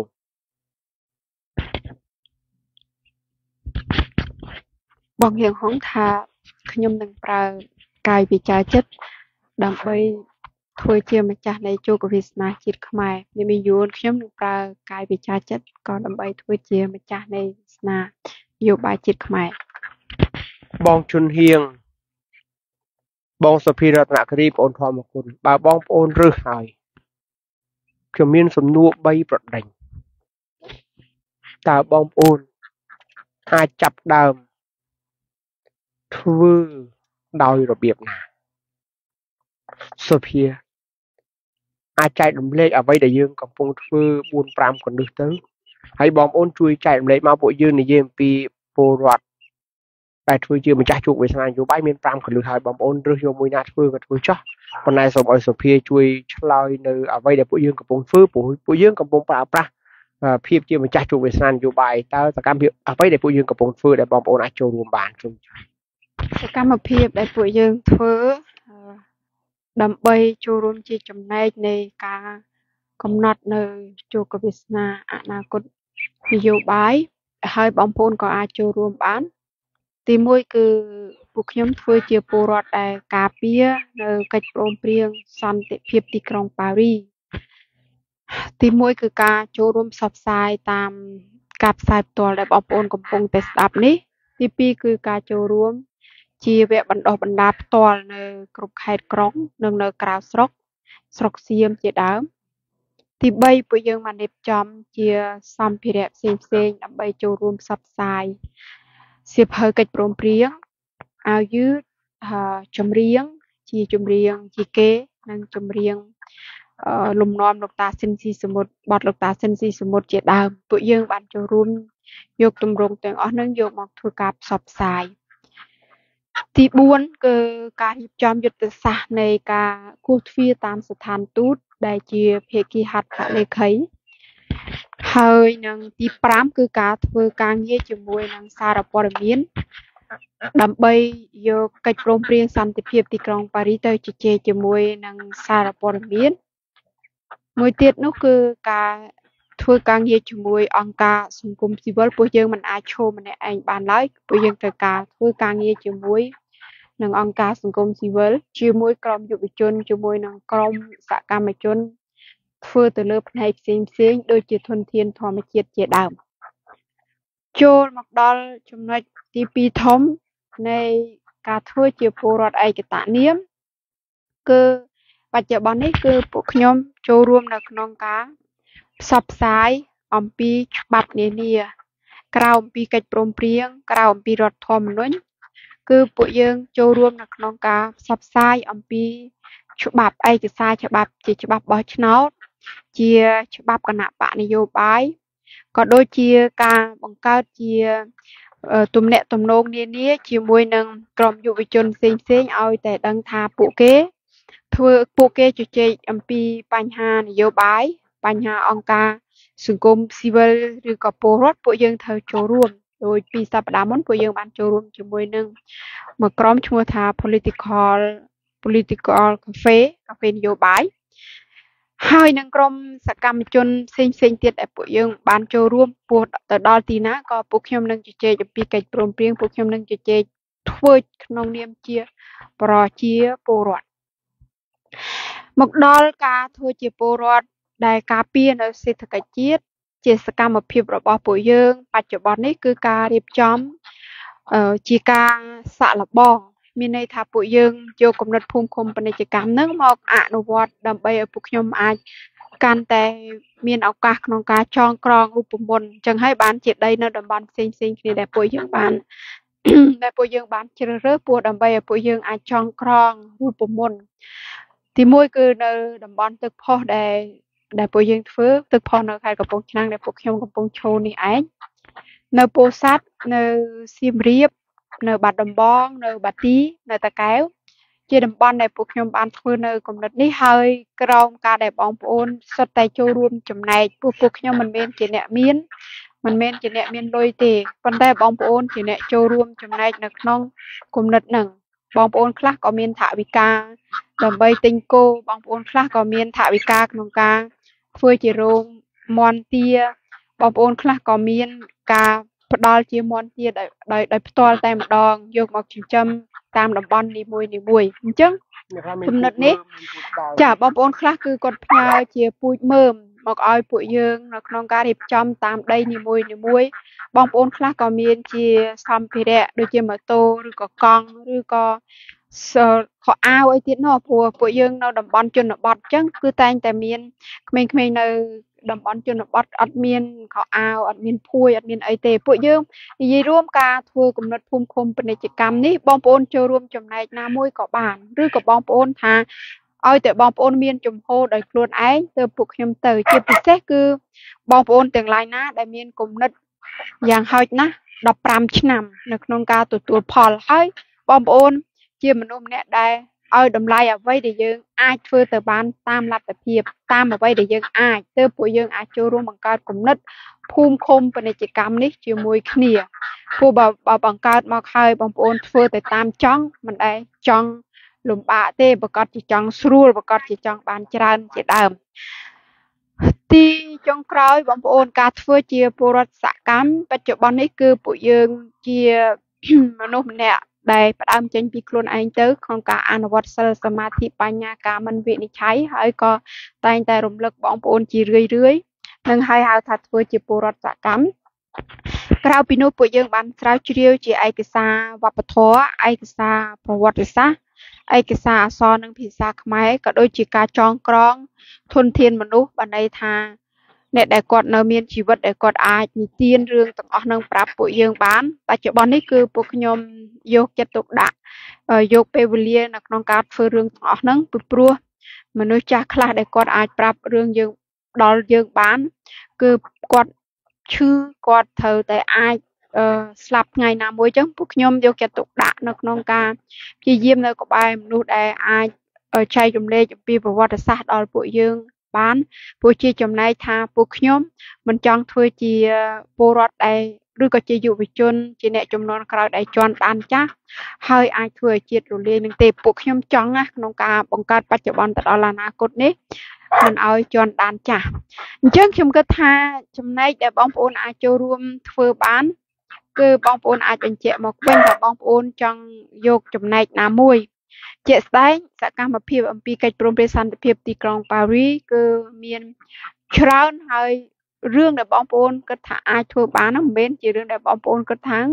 ខ្ញុំអត់ចេះខ្ញុំអត់មានអីបងប្អូនចង់រៀនអញ្ចឹងអាចធ្វើគំនិតនេះបានហើយពួកកន្លងមកពួកខ្ញុំតែងតែបញ្ជាក់ឲ្យបញ្ជាក់ទៀតថាពួកយើងគឺជាអ្នករៀនបើចេះទៅហើយយើងលែងរៀនហើយឧទាហរណ៍យើងរៀនបើកឡានដោយសារយើងអត់ចេះបានយើងទៅរៀនបើកឡានពេលដែលយើងចេះហើយយើងមានអីរៀនទៀតយើងអនុវត្តយើងបើក តែម្ដងបងប្អូនខ្ញុំសូមចែកកន្លឹះ5បន្ថែមមិនមែនបន្ថែមទេអ្វីដែលសុភានិយាយហ្នឹងប៉ុន្តែខ្ញុំព្យាយាមចាប់ជាគោលគោលឲ្យបងប្អូនងាយយកទៅប្រើឬក៏ចង់ធ្វើជាមួយគ្នារាល់ថ្ងៃ7កន្លះ8កន្លះព្រឹក2 10កន្លះ1កន្លះថ្ងៃត្រង់5កន្លះ7កន្លះល្ងាចគឺពួកខ្ញុំផ្សាយអប់រំចែករំលែក អប់រំចែករំលែកផ្សព្វផ្សាយពន្យល់បងប្អូនចង់ចូលរួមចូលរួមបានគ្រប់ពេលធ្វើនៅផ្ទះរៀងខ្លួនដេកធ្វើអង្គុយធ្វើដើរធ្វើឈរធ្វើធ្វើការងារបដៅធ្វើបដៅក៏បានវាជាសេរីភាពរបស់ពូជអបោយើងពួកយើងខំប្រឹងធ្វើទាំងអស់គ្នាធ្វើអីខ្ញុំផ្សាយកិច្ចព្រមព្រៀងប៉ារីរដ្ឋធម្មនុញ្ញជំនួសភាសាក៏ធ្វើបានសភៅនឹងបងប្អូនរកបានតាធ្វើទៅ ធ្វើនៅផ្ទះរៀងខ្លួននៅកន្លែងធ្វើការងាររៀងខ្លួនពួកយើងនៅស្រុកខ្មែរកំពុងតែយប់នៅឯកាណាដាកំពុងតែភ្លឺពួកយើងនៅស្រុកខ្មែរកំពុងតែយប់នៅអាមេរិកកំពុងតែភ្លឺនៅបារាំងកំពុងតែថៃត្រង់ពួកយើងនៅស្រុកខ្មែរកំពុងតែយប់ម៉ោង7កន្លះម៉ោង7 10នាទី5 10នាទីនៅកូរ៉េហ្នឹងម៉ោង9 15នាទីខុសយើង2ម៉ោងអូស្ត្រាលីខុសយើង3ម៉ោងអីចឹងទៅណា ក៏ប៉ុន្តែយើងនៅតែធ្វើបានម៉ោងខុសគ្នាថ្ងៃខុសគ្នាកាយវិចារចិត្តរបស់យើងនៅកន្លែងខុសគ្នាក៏ធ្វើបានមិនចឹងបងប៉ែនជួនឬក៏បងប៉ែនធូនមិនអីទេតាមស្រួលលពូតរុនកំពង់ឆ្នាំងពួកយើងចាប់ដើមផ្សាយផ្សព្វផ្សព្វផ្សាយ ពួកគ្រឿងសង្វឹងគេចាយលុយអស់រាប់រយលានដុល្លារឯណោះដើម្បីផ្សាយគ្រឿងសង្វឹងឲ្យខ្មែរវក់រយៈពេល20ឆ្នាំចុងក្រោយនេះរហូតដល់តែខ្មែរយល់ថាផឹកស្រាគឺជារឿងធម្មតាគេផ្សាយរហូតដល់ថ្នាក់ហ្នឹងគេធ្វើ concert គេប្រជុំតន្ត្រីម្ដងម្ដងបងធម្មគុណគេហៅតារាតារាជួលជួលលុយតារាតារាអស់រាប់អស់រាប់ម៉ឺនរាប់ពាន់ដុល្លារណារៀបចំឈុតឆាកតន្ត្រីនឹងចាយលុយអស់រាប់ម៉ឺនដុល្លារម្ដងម្ដង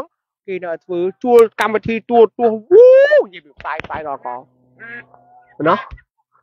ទេមិនយើងទៅប្រកួតប្រជែងជាមួយនឹងពួកគេទេកុំច្រឡំអីយើងក៏លើកទឹកចិត្តខ្លួនឯងគេហ៊ានធ្វើអាក្រក់ដាក់ប្រទេសយើងរឿងអីយើងមិនហ៊ានធ្វើល្អដាក់ប្រទេសខ្លួនឯងណោះមួយទី2បងប្អូនពួកខ្ញុំកំពុងដើរបណ្ដុះបណ្ដាលតាមផ្ទះជនរួមភាសាសប្តាហ៍នេះ ពួកខ្ញុំនៅកំពង់ឆ្នាំងស្អែកដល់ពោធិ៍សាត់បន្ទាប់មកត្រឡប់មកតកែវបន្ទាប់មកទៅខ្មែរក្រោមក្នុងខែនេះនឹងទៅដល់ត្បូងឃ្មុំ ហើយធ្លាយមកកំពង់ចាមចេញចូលកំពង់ធំចេញចូលទៅសៀមរាបអញ្ចឹងមួយខែពេញនេះគឺវិល4 5ខេត្តឆ្លងទាំងប្រទេស ទៅបង្រៀនកិច្ចព្រមព្រៀងប៉ារីបងប្អូនបណ្ដុះបណ្ដាលគេបានតើ បញ្យលគេផ្ទាល់បានតើបង្កើតជាក្លឹបរៀនបានតើមានបងប្អូននៅកូរ៉េគេបង្កើតក្លឹបបង្រៀនគ្នាគេបងប្អូនស្ត្រី23ដុល្លារបង្កើតម៉ោងដូចជា3ម៉ោង4ល្ងាចបង្រៀនគ្នាទៅវិញទៅមកគេធ្វើបានតើបងប្អូនក៏ធ្វើបានបង្រៀនគេបង្រៀនអ្នកដទៃណោះនៅមីយអូនណោះ3នៅមីងបងសុភីរតនគិរី ឥឡូវនេះពួកយើងកំពុងដើរតាមឆានទូតនីមួយនីមួយបងប្អូនទូត call ទៅក៏បានអ៊ីមែលទៅក៏បានផ្ញើ Messenger ទៅក៏បាន ទៅទៅផ្ទាល់ទូតអាមេរិកនៅជាប់វត្តភ្នំទូតកាណាដាអង់គ្លេសនៅទល់មុខពេទ្យកាល់ម៉ែតទូតបារាំងជាប់ពេទ្យកាល់ម៉ែតជិតអាគារបេះដូង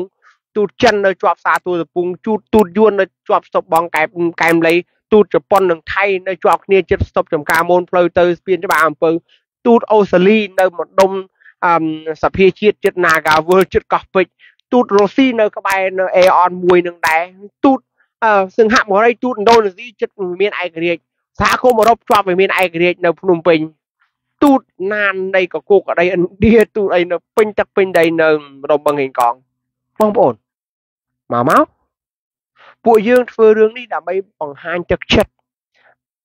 ទីមួយយើងសូមអរគុណ តែទៅដល់ទូតនីមួយនីមួយពាក្យដែលបងប្អូនត្រូវធ្វើមុនគេ clear ដែលបងប្អូនត្រូវនិយាយមុនគេគេសួរថាមកធ្វើអីពួកខ្ញុំមកដាក់លិខិតថ្លែងអំណរគុណដល់ស្ថានទូតតំណាងប្រទេសរបស់អ្នកដែលបានចុះហត្ថលេខាកិច្ចព្រមព្រៀងប៉ារីសដែលបានបន្តអនុវត្តតាមកិច្ចព្រមព្រៀងប៉ារីសទី2សំណើសូមឲ្យគេបោះពុំសភៅសូមឲ្យគេបណ្ដុះបណ្ដាលកិច្ចព្រមព្រៀងប៉ារីសសូមឲ្យគេធ្វើការអប់រំបណ្ដុះបណ្ដាលចែករំលែកបណ្ដុះបណ្ដាលចែករំលែកនេះគឺជាអ្វីដែលយើងស្នើអត់មានទៅដល់សូមឲ្យអនុវត្តកិច្ចព្រមព្រៀងប៉ារីសកុំតាន់មើលរមិត ហើយនឹងសត្រូវឲ្យច្បាស់ស្គាល់មិត្តស្គាល់សត្រូវគឺជារឿងដែលយើងត្រូវធ្វើណាបងពេញសុកនេះមកឬក៏មកចាំមានសិនចាំមកបាទអត់អីទេចាំខ្លាយអ្នកមានចោះព្រោះប្រទេសយើងដល់វាជារបស់អ្នកមានចឹងឃើញអ្នកមានលក់ទឹកលក់ដីលក់ព្រៃលក់រ៉ែកុំខឹងអ្នកមាននេះចាំខ្ញុំធ្វើមន្ត្រីសិនស្រូនអើយបងសភារតនគិរីថាអញ្ចឹងចាំខ្ញុំធ្វើមន្ត្រីសិនទៅអញ្ចឹងបើមន្ត្រីលក់ទឹកលក់ដីលក់ព្រៃលក់រ៉ែធ្វើជាអាយ៉ងរបស់ទេកុំខឹងគាត់ព្រោះគេធ្វើមន្ត្រីគេចង់ធ្វើអីក៏បានដែរ តែបើអត់ចាំទេធ្វើជាពលរដ្ឋក៏ទៅបានដែរតោះមកបបួលគ្នាមកណាត់គ្នាមុននឹងមកឲ្យបាន2 3នាក់មកសួរលពូហ៊ុនគីមនោះលពូហ៊ុនគីមបកែជូនណាបងគៀងហុងអីនេះបកែណាពីរនាក់នេះបកែមែនទេទៅណាក៏បានដែរជើងវែងបងប្អូននេះគឺទៅតាមទូតនីមួយនីមួយ4អ្វីដែលពួកខ្ញុំកំពុងធ្វើបងប្អូន គឺពួកយើងកំពុងតែបណ្ដុះបណ្ដាលឲ្យពូជខ្មែរមានសេដ្ឋកិច្ចឯករាជ្យ គឺខ្មែរម្នាក់ម្នាក់ខ្មែរមួយគ្រួសារមួយគ្រួសារត្រូវមានឯករាជ្យខាងសេដ្ឋកិច្ចពួកយើងធ្វើភូមិឃុំរាជកម្មនៅខេត្តនីមួយៗបង្កើតគំរូសង្ឃឹមថា5ឆ្នាំទៀតគំរូនេះនឹងអាចយកទៅប្រើនៅគ្រប់ខេត្តទាំងអស់បានព្រោះពួកយើងមើលតាមទីតាំងភូមិសាស្ត្រមើលតាមចរិតមនុស្សមើលតាមរបៀបរបបប៉ុន្តែมันខុសជំនាញកសិកម្មទំនើបកសិឧស្សាហកម្មកសិពាណិជ្ជកម្មកសិទេសចរទេពួកយើងព្រួយតែរករឿងហ្នឹងព្រោះមានតែវិធីសាស្ត្រនេះទេ ដែលធ្វើឲ្យខ្មែរខ្លាយទៅជាម្ចាស់សេដ្ឋកិច្ចជាតិដែលធ្វើឲ្យខ្មែរខ្លាយទៅជាម្ចាស់សេដ្ឋកិច្ចជាតិដែលធ្វើឲ្យពលរដ្ឋខ្មែរខ្លាយទៅជាម្ចាស់ជួបกับវាសនានយោបាយជាតិបងប្អូនចង់ចូលរួម មានគោចូលគោមានមន់ចូលមន់មានក្របីចូលក្របីមានមើមមានរុក្ខជាតិមើមមានរុក្ខជាតិដើមផ្លែផ្កាចូលបងប្អូនកិច្ចការងារនេះគឺជាការងារមិនមែនបងប្អូនឲ្យទៅទេទេចូលទុនចូលគំនិត ចូលកម្លាំងបាយចូលជំនាញចូលថវិកាចូលជារុក្ខជាតិចូលជាសត្វចូលជាការបង្កើតដេប៉ូចែកចាយចូលជាបង្កើតប្រព័ន្ធដឹកជញ្ជូនចូលជាការចូលលក់ចូលចូលរួមលក់ទំនិញផលិតផលសេវាកម្មពលរដ្ឋខ្មែរជួយគ្នាស្រនើយអឺផលិតផលខ្មែរអន់ពេកខ្ញុំមិនចង់លក់ទេបងប្អូននៅនៅគិតអញ្ចឹងអត់បានទេជួយជាតិមិនបានទេបងប្អូនខ្មែរដាំអីយើងលក់ហ្នឹង បងប្អូនខ្មែរដាំដំឡូងលក់ដំឡូងដាំចេកលក់ចេកដាំចិញ្ចឹមមាន់លក់មាន់ចិញ្ចឹមគោលក់គោបងប្អូនខ្មែរអឺធ្វើដាំបន្លែដែលមានគីមីជួយលក់របស់គាត់ដោយយើងធ្វើយ៉ាងម៉េចនិយាយសម្រួលយ៉ាងម៉េចដើម្បីអាហាគីមីនោះមិនឲ្យប៉ះពាល់ធ្ងន់ធ្ងរដល់សុខភាពមនុស្សព្រោះយើងជៀសវាមិនបានជៀសវាមិនផុតបើយើងហូបអាហារពីយួនពីចិនពីសៀមកសត្វតាគីមីដេរនៅចឹងហើយធ្ងន់ធ្ងរជាងនៅស្រុកខ្មែរទៀតកុំភ្លេចណា អាហារគីមីស្រុកយួនឥឡូវពេលដាំពេលតែបដោះគេដាក់គីមីពេលដាំគេដាក់គីមីពេលថែគេដាក់គីមីពេលប្រមូលផលគេដាក់គីមីពេលដឹកជូនគេដាក់គីមីពេលដែលយកមកវិចប់គេដាក់គីមីពេលដែលយកមកដាក់ទីផ្សារគេដាក់គីមីទៀតខ្មែរវិញពេលដាំមុនដាំដាក់គីមីពេលដាំថែគីមីពេលដឹកជញ្ជូនដាក់គីមីឃើញគីមីយើងតែ3កលាក់មកដល់ផ្សារបាត់តែបើគីមីពីយួនពីចិនពីសៀមកគីមី6 7ជាន់វាខុសគ្នាប៉ុណ្ណឹងតាមែនអត់ ទេដល់គីមីចឹងតែដល់ពេលយើងចាប់ដើមនិយាយគ្នាជាមួយខ្មែរដូចគ្នាគេថានេះខ្ញុំយកទៅលក់ឲ្យខ្មែរដូចគ្នាហូបទេណាអញ្ចឹងអ្នកដាំទៅសក់គាត់ដឹងថាតើគាត់បាញ់ថ្ងៃហ្នឹងមួយអាទិត្យក្រោយចាំបេះគាត់បាញ់ថ្ងៃហ្នឹង3 4ថ្ងៃក្រោយចាំបេះមិនមែនបាញ់ល្ងាចហ្នឹងស្អែកបេះទេឃើញទៅខ្ញុំចង់និយាយថាក្បួននៃការជួយជាតិវាមិនមែនយើងអាំងស្អីខ្ញុំចង់បានសុតអត់គីមីប្រជាជននៅលើពិភពលោក7 8000លានទៅហើយហ្នឹងហែកគ្នាស៊ីទៅហើយហ្នឹងហើយយើងមកនៅអត់គីមីពិបាកណាស់ មិនមែនពួកយើងមិនគ្រប់គ្រងអត់គីមីទេពួកយើងកំពុងធ្វើគម្រោងមួយឈ្មោះថាសួនគ្រួសារគឺ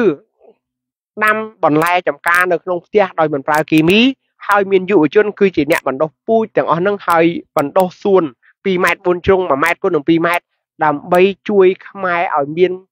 ឲ្យមានសួននៅក្នុងផ្ទះបងប្អូនណាដែលនៅក្នុងភូមិយើងនោះទីឥឡូវគាត់ ចូលចិត្តហូបសាឡស្ងោរជក់ញឹកអញ្ចឹងយើងមានបន្លែស្ងោរជក់ទៅបដោះទៅហើយទុកទៅដាំផ្ទះគាត់ដាំគល់សង្កីមកគុំពីរទៅយកទៅឲ្យគាត់ដាំក្រូចឆ្មាមួយដើមទៅយកទៅឲ្យគាត់បដោះណាហោយើងដាំជីរណាជីព្រីងជីជីនាងវងជីអីមួយចំនួនទុកជ្រក់ទៅអញ្ចឹងដាក់វឹបអញ្ចឹងមកសួន2ម៉ែត្រ4ជ្រុង3ម៉ែត្រ4ជ្រុងហ្នឹងគឺឲ្យគាត់ថែខ្លួនឯងហើយដល់ថ្ងៃយើងយកជីទៅឲ្យគាត់ ដល់ថ្ងៃយើងយកពូជទៅឲ្យគាត់បើក្នុងរុក្ខជាតិមួយចំនួនដល់បេះហើយបើអស់ណាឥឡូវដូចជាអាណាអញ្ចឹងដល់បេះអស់ហើយណាទៅដល់អស់ហើយប៉ុន្តែជីនាងវងអាចនៅបានរាប់ខែដែរមែនអត់សាវាហើយក្រូចឆ្មាហ្នឹងអាចនៅបានមួយឆ្នាំដែរវាអាសត្វចង់ចូលទៅជារបស់ខ្ញុំណាហោឲ្យអាហ្នឹងអញ្ចឹងហើយបងប្អូនខ្លះគាត់ចោះគាត់ភូមិគាត់ហ្នឹងគាត់ចូលចិត្តហូបម្ជូរព្រោះដល់ស្រោមជូរណាអញ្ចឹងយើងមានអឺបដោះដើមកូន7ទៅអាកូន7ហ្នឹងកាត់វាទឿទឿទៅឲ្យហើយទៅ យកទៅដល់យើងដាក់ផ្ទះគាត់2គល់ទៅអគាត់ចង់បានមជូរអីគេយើងយើងយើងគាត់គាត់ចូលចិត្តមជូរដល់អា7 7ទុំអញ្ចឹងយើងមានអ្នកភូមិហ្នឹងគឺយើងបដោះប៉ុណ្ណាហ្នឹងដើម7វាងាយធំជួរទេឲ្យគាត់ប្រាប់ថាលេត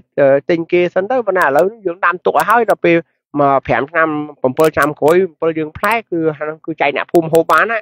ឬក៏កសាំងយើងបដោះកសាំងមកយើងយកដើមទៅចង់ច្រាមផុកចង់ស្លមជូរចង់អីគឺមានដើមកសាំងអញ្ចឹងភូមិនឹងចូលចិត្តមកជូរយើងចូលចិត្តមកជូរយើងដាំដើមមកជូរឲ្យច្រើនចូលចិត្តមកអមយើងដាំមកអមឲ្យច្រើនចូលចិត្តអឹមឆាក្តៅយើងដាំម្រះព្រើឲ្យច្រើនខ្ញុំឧទាហរណ៍អញ្ចឹងអញ្ចឹងពួកខ្ញុំកំពុងធ្វើប៉ុន្តែយើងចាប់ដើមនៅបាត់ដំបងបងបងបងលីដាទុំជាមួយបងប្រុសគាត់បានធ្វើបានល្អហើយហើយយើងកំពុងចាប់នៅឯតកែវ តាមពុតកំពុងចាត់នៅកំពុងឆ្នាំងដែរតែកំពុងឆ្នាំងខ្វះខាតទឹកអញ្ចឹងពិបាកបន្តិចតែតកែវគឺមើលទៅគ្រាន់បើជាងយើងចាប់ដើមនៅតកែវទៀតអញ្ចឹងបងប្អូននេះគឺជាសួនបន្លែពួកយើងយល់ថាបើកាលណាខ្មែរហូបមកបានបានមករស់សិនមកគ្រប់គ្រាន់សិនយើងនឹងធ្វើឲ្យជាតិខ្មែរខ្លាយជារបស់ខ្មែរហើយនេះគឺជាកលឹះបងប្អូនបងប្អូនអាចចូលរួមនៅក្នុងភូមិឃុំរាជកម្មរបស់ពួកយើងបានគ្រប់ពេលវេលាគ្រប់ទីកន្លែងដែលពួកយើងមាន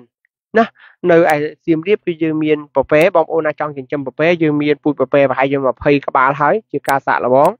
ហើយបងប្អូនអាចយកពូជទៅចិញ្ចឹមបានហើយពួកយើងបើពេលយើងចែកជូនបងប្អូននោះគឺអត់មានលក់យកថ្លៃទេប៉ុន្តែមានចំណុចខ្លះមានបងប្អូនខ្លះក៏ឆ្ងល់ដែរថារបស់ដែលពួកយើងលក់ទៅហាក់ដូចជាថ្លៃជាងទីផ្សារមកពីបងប្អូនអត់គិតអំពីតម្លៃដើមរបស់ពួកយើង ពួកយើងមិនមែនជាឈ្មោះរស់ស៊ីដូចអុកញ៉ា ដែលគេយកម្ដងប្រពែមួយលានក្បាលប្រពែ1000ក្បាល10000ក្បាលទេដូចគោអញ្ចឹងហើយពួកគេអុកញ៉ាគេមានម្ដង4 500ក្បាល10000ក្បាលហើយពួកយើងចិញ្ចឹមតាមភូមិអឺមកគ្រួសារ4 5ក្បាល400ក្បាលហើយបងប្អូនគិតអំពីការចិញ្ចឹមអញ្ចឹងរឿងខុសគ្នាកុំប្រៀបធៀបកិច្ចការងាររបស់ពួកយើងជាមួយនឹងអ្នកតីពីព្រោះយើងមិនអុកញ៉ាទេពួកយើងចង់ជួយសង្គមជាតិអញ្ចឹងអ្វីដែលបងប្អូនកំពុងធ្វើដើម្បីជាតិមាតុភូមិមិនមែនដើម្បីអុកញ៉ាគេចង់ខ្លាយសេដ្ឋីឯណាអត់ធ្វើទេ យើងអត់ធ្វើយើងចង់ជួយខ្មែរឲ្យចេះជួយខ្មែរយើងចង់ធ្វើឲ្យខ្មែរចេះជួយគ្នានេះគឺជាគឺជាកលឹះទី5ចុងក្រោយដែលពួកខ្ញុំកំពុងធ្វើបងប្អូនកតញ្ញូកតវេទីពួកយើងយល់ថាយើងចេះដឹងយល់អំពីប្រវត្តិដូនតាខ្លួនឯងវីរៈភាពរបស់ដូនតារបស់យើងយើងយកអ្វីដែលដូនតាខ្មែរមានយកមកចែករំលែកឲ្យបងប្អូនខ្មែរដទៃទៀតដែលមិនបានដឹងចេះដូចជាខ្ញុំនិយាយប្រវត្តិសាស្ត្រកន្លងមកឲ្យបងប្អូនចេះដឹងយល់បើមិនដូច្នោះទេពួកយើងនឹងបាត់បង់ដួងវិញ្ញាណហើយ បច្ចុប្បន្នខ្មែរមិនអាចការពារជាតិបានពីព្រោះយើងអត់ដឹងអតីតកាលរបស់យើងជាអីដូនតាខ្មែរហូបអ្វីដែលពុលហើយយើងអត់ដឹងថ្ងៃហ្នឹងយើងហូបរបស់ហ្នឹងពុលដូចគ្នា17មេសា75គឺខ្មែររលំរលាយដល់ពេលឥឡូវនេះ យើងចូលដល់23ឆ្នាំ2023យើងអត់បានដឹងការប្រែប្រួលនៃបរិយាកាសនយោបាយតំបន់អន្តរជាតិហើយនឹងនយោបាយក្នុងស្រុករបស់យើងលោកហ៊ុនសែននិងអ្នកដែលដឹកនាំប្រទេសដែលមានអាយុ60 70 80 90ឆ្នាំថ្ងៃនេះគាត់កំពុងមានការប្រែប្រួលហើយយើងមិនតាមដាននេះហើយជាកំហុសដែលយើងនឹងជន់ដានចាស់ដដែលដែរនោះសុភាបងគិតថា5កណ្ដឹងនេះជូនបងប្អូនបន្ថែមអ្វីដែលសុភានិយាយទៅចោះជំរាបលាបងប្អូនចាស់ ចង់ទំនាក់ទំនងមកពួកខ្ញុំបងប្អូនសញ្ញោមកពីរដងឬក៏ផ្ញើតាម Telegram ពួកខ្ញុំមាន Telegram